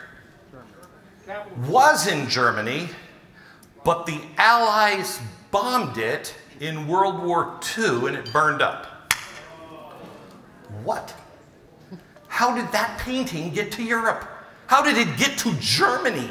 How was it in a museum in Nazi Germany? Because it was painted by a German, not for us, for them because during the, the Spring of Nations in 1850, this painter had spent time in America. And he realized, guys, you're going the wrong way. You're going to this socialism thing. That's not it. You want everybody in the boat? Look to America. If you look at that painting, look at it tonight and read about it. There's a woman, there's an African American, there's a Native American, there's a frontiersman, there is a businessman. There are two presidents in the boat. Everyone is in the boat. They have an idea that will draw everyone together. And look what they can create. That is why that painting exists. It wasn't for us, and neither was the Statue of Liberty.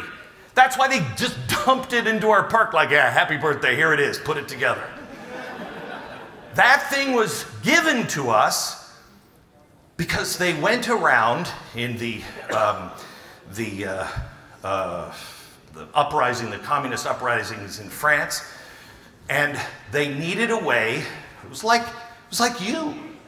You all sat around and went, How can we tell? How can we beat these socialists? I know, we can tell the story of America. Their birthday. Let's build a statue of liberty. And we can go to all of the biggest people and we can ask them for a donation and we can get in because we're not talking about socialism. We're just talking about America. They were telling our story to convince their people. This is in the days before we nation build. They wanted it because we weren't saying, you know what, look how cool we are. That's why the Statue of Liberty has a broken chain on her, on her foot. They broke the chains of slavery. She holds the tablets, the law, law of Moses and the law of man. Imprisoned lightning. That's what the torch is. In her torch, imprisoned lightning. Does anybody know what imprisoned lightning is? It was the idea that we gave the world the light bulb. In her torch is imprisoned lightning. In other words, this is a place, a place of great discovery. This is a place that anybody can do anything and miracles happen. We listened to Emma Lazarus' poem, The Great Colossus, and I It bothers me so much when people say, Give me your poor, you're tired, you're huddled masses. It's not a hospital. We are not a hospital. We are an idea. Not like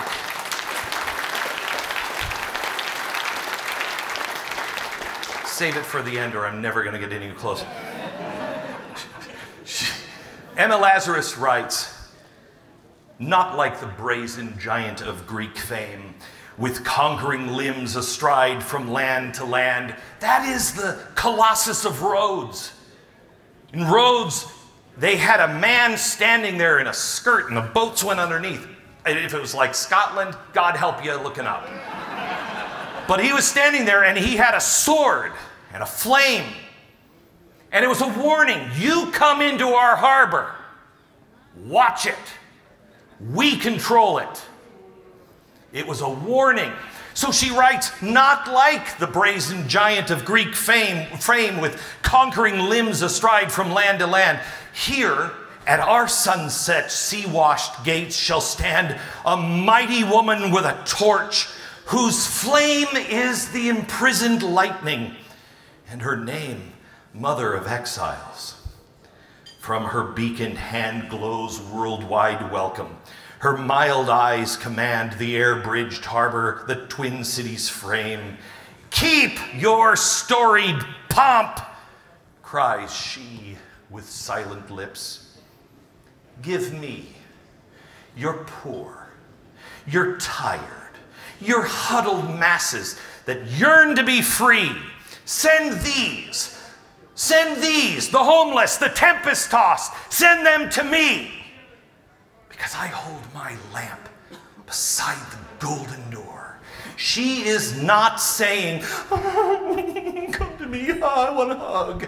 She's not saying that.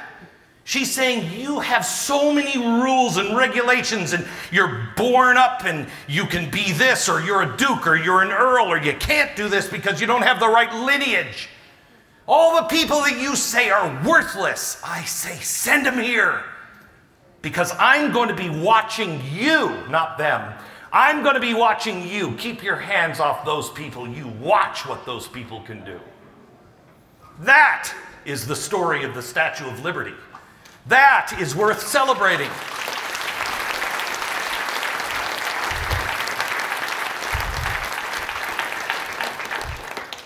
Could I have 10 more minutes? So, so the world's going in a different direction. And it starts with Charles Darwin. This is Origin of the Species. I'll give you a bottle of wine or the flowers on the desk for anybody who can tell me the, the secondary title of it.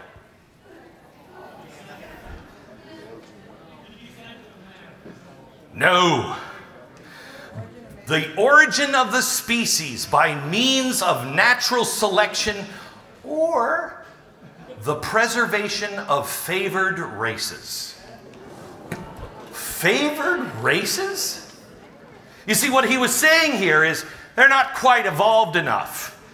Send people back to Africa, let them bake a little longer in the oven, and then they'll catch up to us because we are a favored race. This starts the idea of eugenics.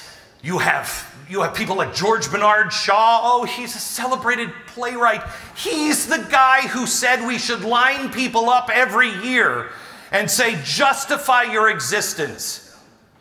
And if you can't, our society has no use for you. He's the first guy who says there's got to be some sort of a drug or a gas that we could put people in and kill them. That's George Bernard Shaw. This gives birth to Mein Kampf. This Mein Kampf is specially bound, bound by Adolf Hitler, signed by Adolf Hitler to, if you watched Valkyrie or you know anything about Valkyrie, von Stauffenberg. Oh. This is his copy. This is a guy who hated Hitler and tried to kill him. But they waited too long because they were afraid. But we weren't. There was another torch. This torch was brought in at the Munich Olympics. This is the Olympic torch carried into the stadium from the Nazi Olympics. And who was there? Jesse Owens. Jesse Owens, who stood there and defied them. And who else? The guy who won silver. What was his name? I got to look it up here. What? What's his name? No. The last name is Long. I'm trying to remember his first name. Uh, Carl Long. Carl Long, he was supposed to win gold. He was a German, not a Nazi. He was a German. And he was watching Jesse Owens jump. And he said, Jesse, you're jumping too early. I'm going to go over and I'm going to put a towel down on the ground. Jump there. In front of Goebbels, in front of Hitler. Jump there. He did, he wins gold. Long wins silver. He and Jesse have this great friendship until he's sent to the Russian front and dies. But here we have another American who knows what's right and stands for it. This is a Honus Wagner card. Extraordinarily rare. I don't know anything about baseball. I don't really care. I care about this side. The reason why this is such a rare card is because there are very few of them. Why? Because he was a guy who believed in setting a good example. He was a guy who said, I, want kids to look up to me. And I want them to be able to follow my example. And I don't smoke. I don't chew tobacco. I think it's wrong. And you printed my card with a tobacco company on the back. No. That was not a popular decision and cost him a lot of money. But we look at the Honus Wagner card and we don't talk about the other side. This is an American who says, no, it's not about fame, it's not about fortune, no, it's about something bigger.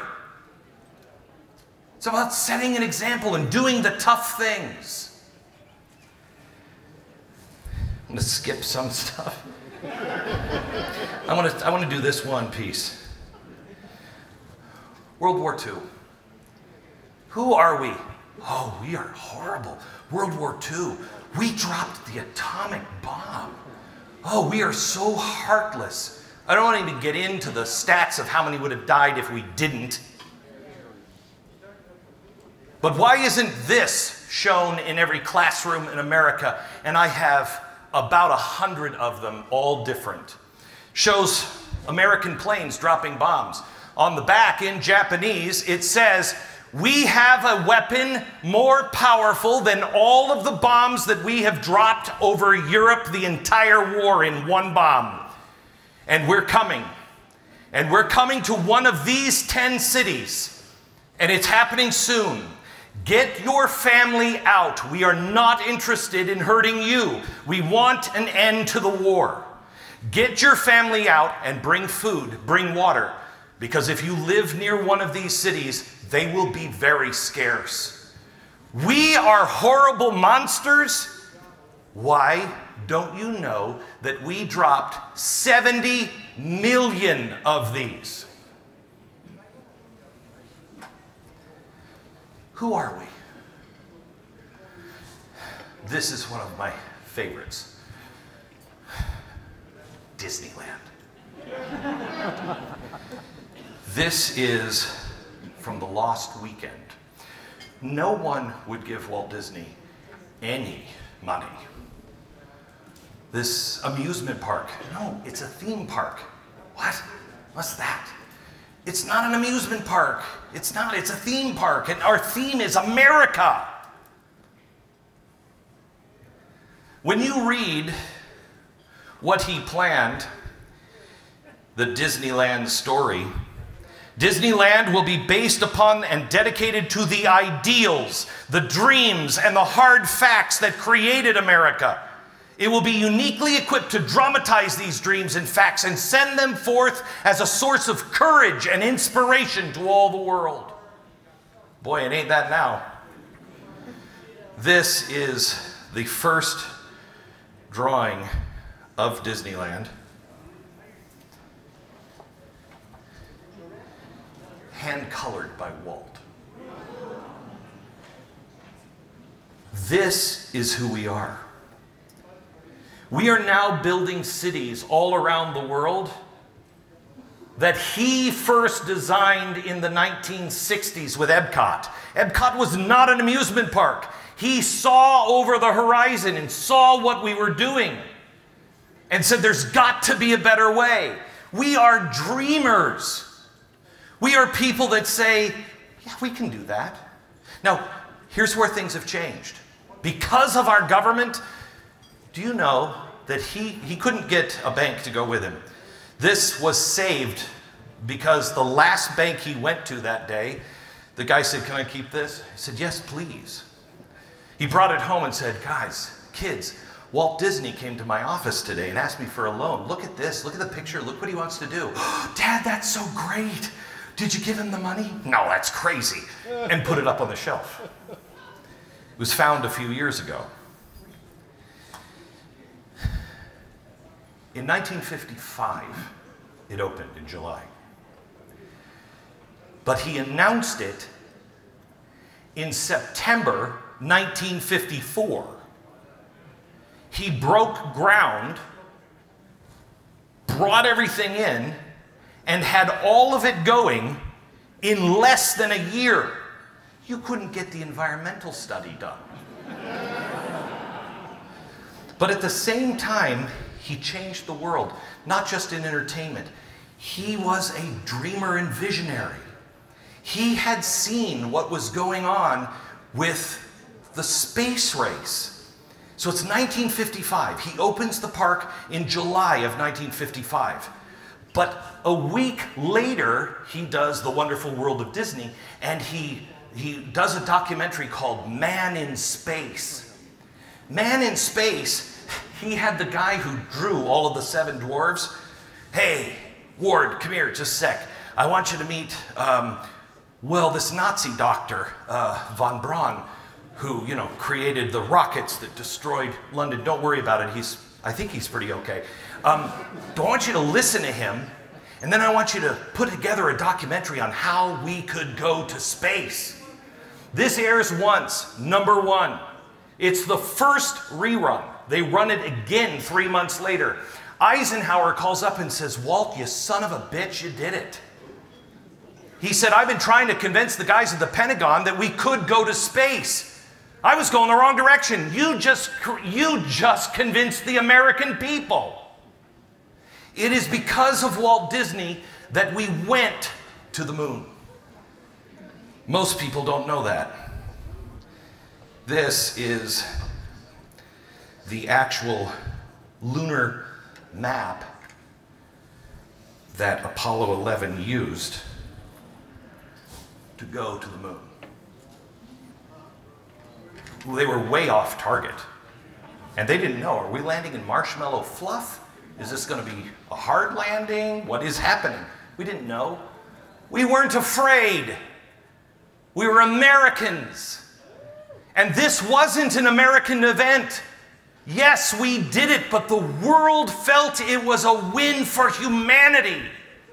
Man's greatest achievement because there was a place just past that golden door that you could dream and do.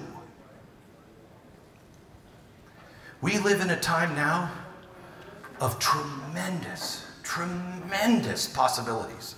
The world will not be the same in 10 years. You will not recognize our lives in 10 years. With AI, with just 5G, when 5G hits, 5G is the reason why you don't have a car that can drive. Because it, it's, it has too much latency. It's the reason why a man cannot do surgery, a great surgeon cannot do surgery from Chicago on a patient in China because there's too much latency, there's too much lag time. 5G gives that surgeon the opportunity to work his hands here in Chicago inside the body of someone in Hong Kong, and it's happening at the same time. 5G will be able to not only know where you're going, but it will know every other car around you. It will know who's in that car. It will have to start weighing if I'm going to get into an accident, which one do I hit? Don't laugh. That is being studied right now at MIT. And it is terrifying. Who lives, who dies. You will not recognize the world. And it is either going to be a nightmare or it's going to be the greatest ever. Freedom, the only thing I could say is that for the first time, our founders could not have seen this. Freedom beyond your wildest expectations. But it is up to each of us right now. I want to close with this. This is a handwritten letter from Thomas Jefferson. His penmanship is unbelievable. He's writing to Caesar Rodney. He's the guy from Delaware on the back of the quarter. He says, Caesar, I see still a breaker ahead which fills me with horror.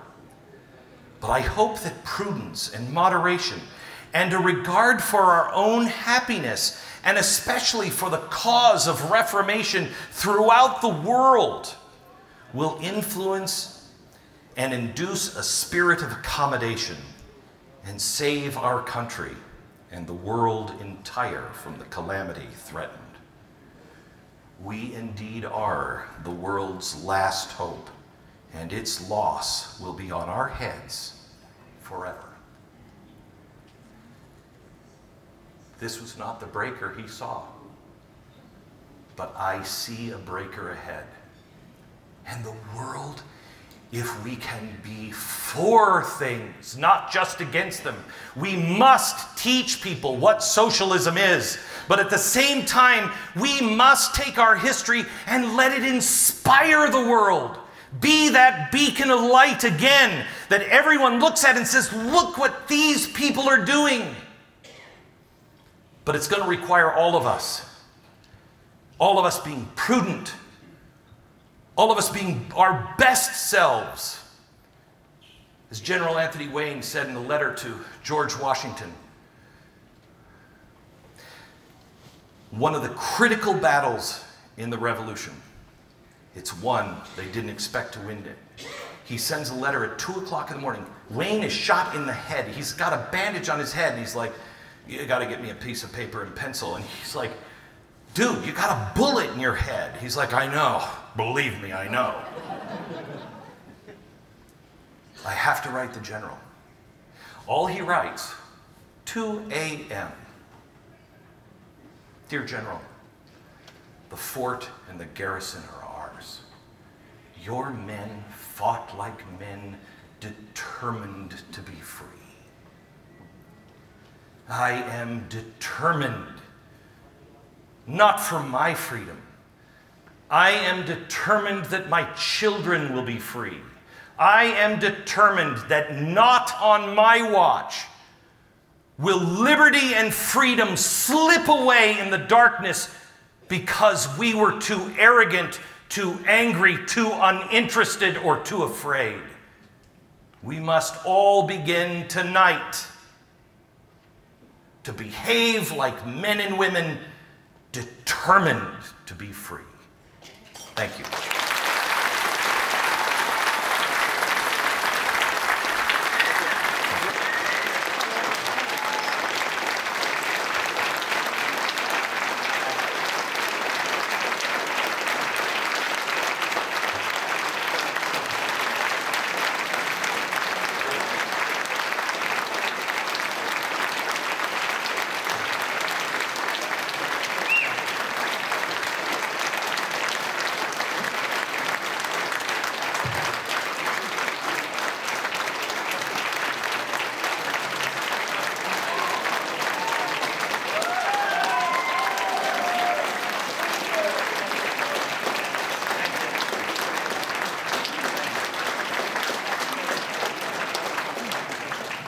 Glenn Beck is the hardest working man in the freedom business, so I have brought you, I see you're sweating a tad.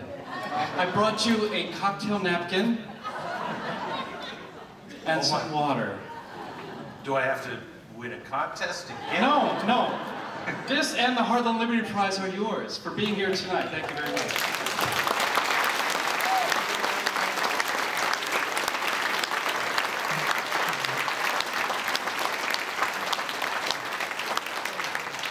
I, I, I, I'm truly humbled by your kindness. Thank you so much. It, it means the world to me. Thank you.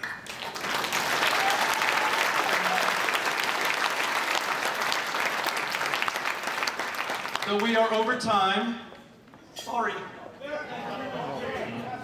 It's okay.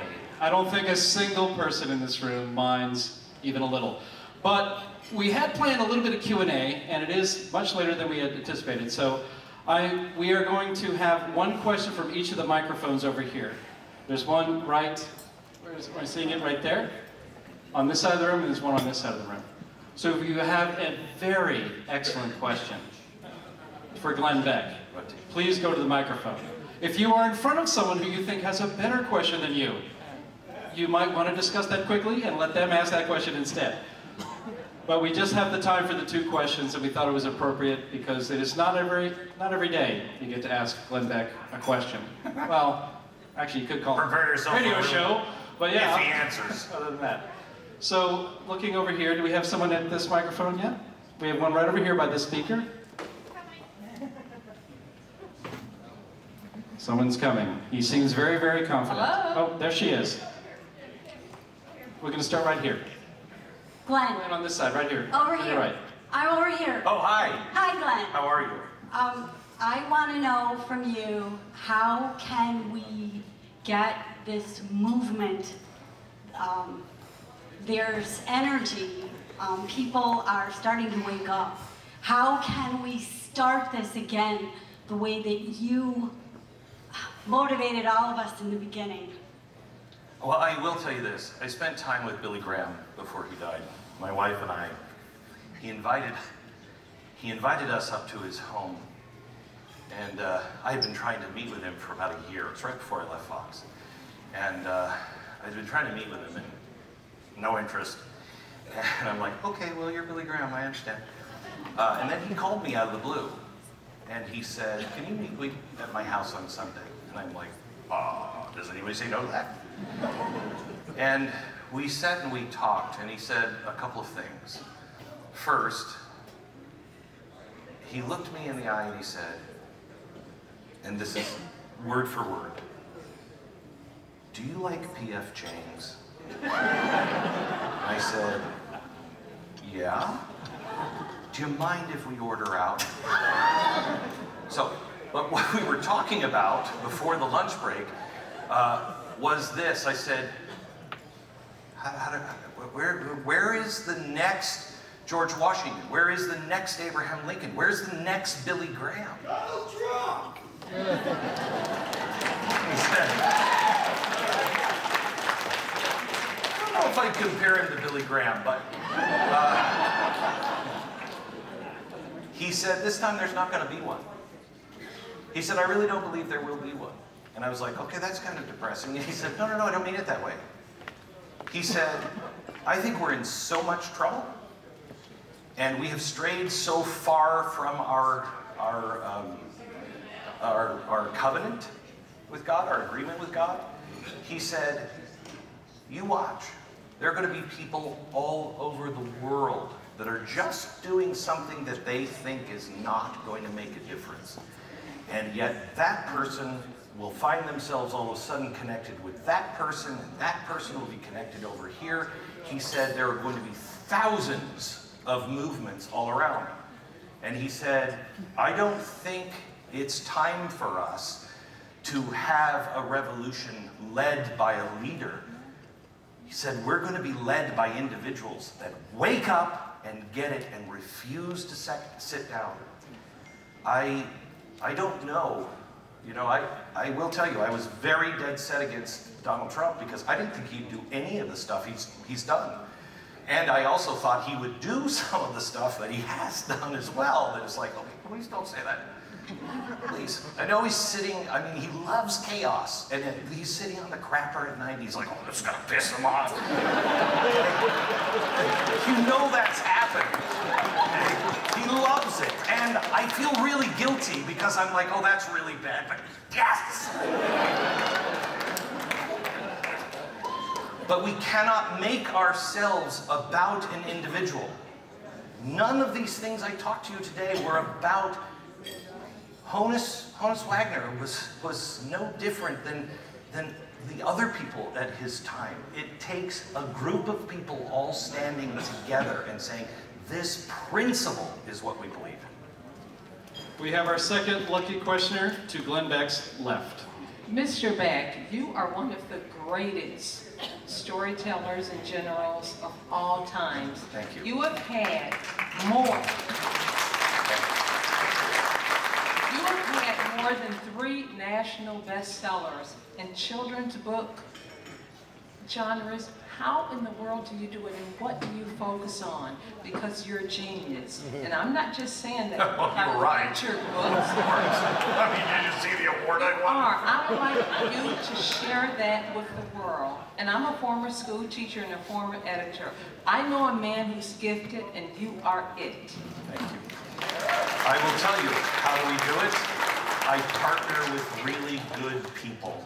I partner with really good people. There was one thing I wanted to share with you. It was a letter from Neil Armstrong uh, to children that is not public. Nobody's heard it. Um, and in it, he says, what I did, I did with thousands of others. I just did my part and I made sure that I always had honor and integrity. That's how you do it. That's how you change the world. That's how you change the world. Let's hear it one more time for our speaker tonight.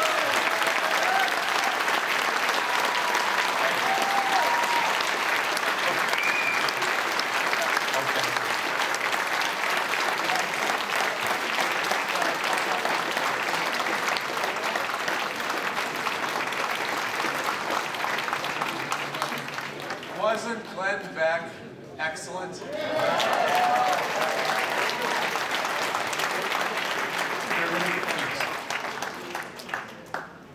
I say thank you all for being here.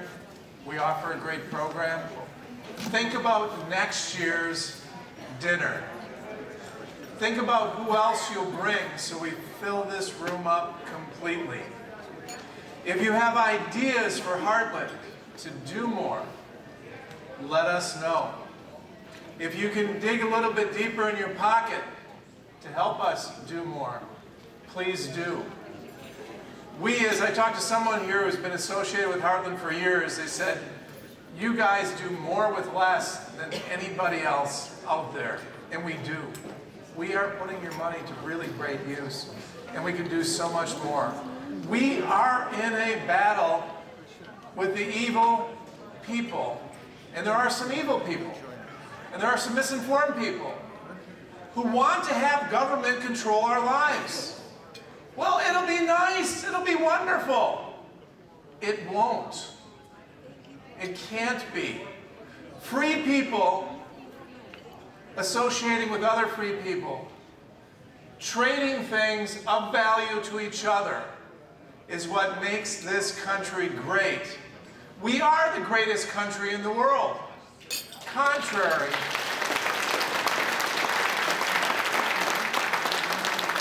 to what you're all sold on an everyday basis. Go out and talk to the people you know in your lives. Tell them how great we have it here. There's a reason why people are trying to get in our country. There's a reason why Americans are not trying to get into Canada. Because we are a great nation. But we are at a critical point. It is unbelievable that we have mainstream politicians talking about democratic socialism and how wonderful it's going to be, and we give them a time of day. 20 years ago, they'd be laughed off the stage and no one would talk to them. Now they get a buy and they get a whole bunch of attention. We have a problem, and we have a problem with our children that we aren't talking to. You need to go out and do your parts. Don't be afraid. Our country is great. We're going to be here tomorrow. We're going to be here next year. And contrary to what some people are telling you, we're going to be here 15, 20, and 30 years out.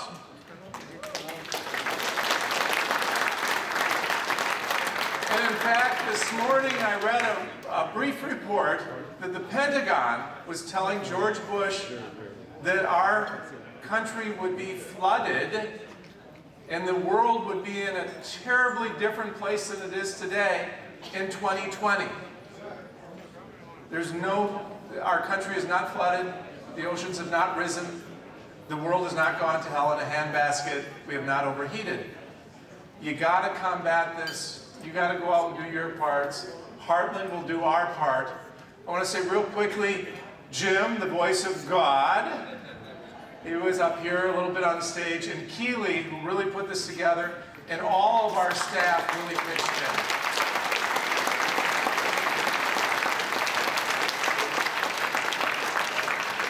So those of you who have the little special ticket or whatever that were, wanted to see Glenn earlier in the VIP reception, you are welcome to do that. Glenn's going to spend a little extra time.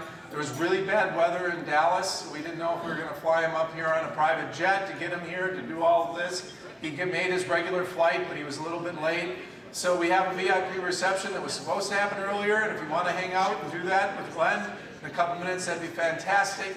So enjoy your evening, collect your bottles of wine, take your, take your uh, flowers off the table, those of you who want.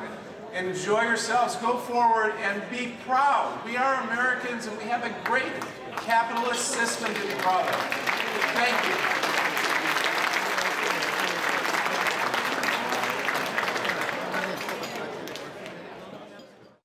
Thanks for watching this video. Please subscribe to our channel and consider donating to the Heartland Institute to support more vibrant free markets, greater individual liberties, and more videos like this one.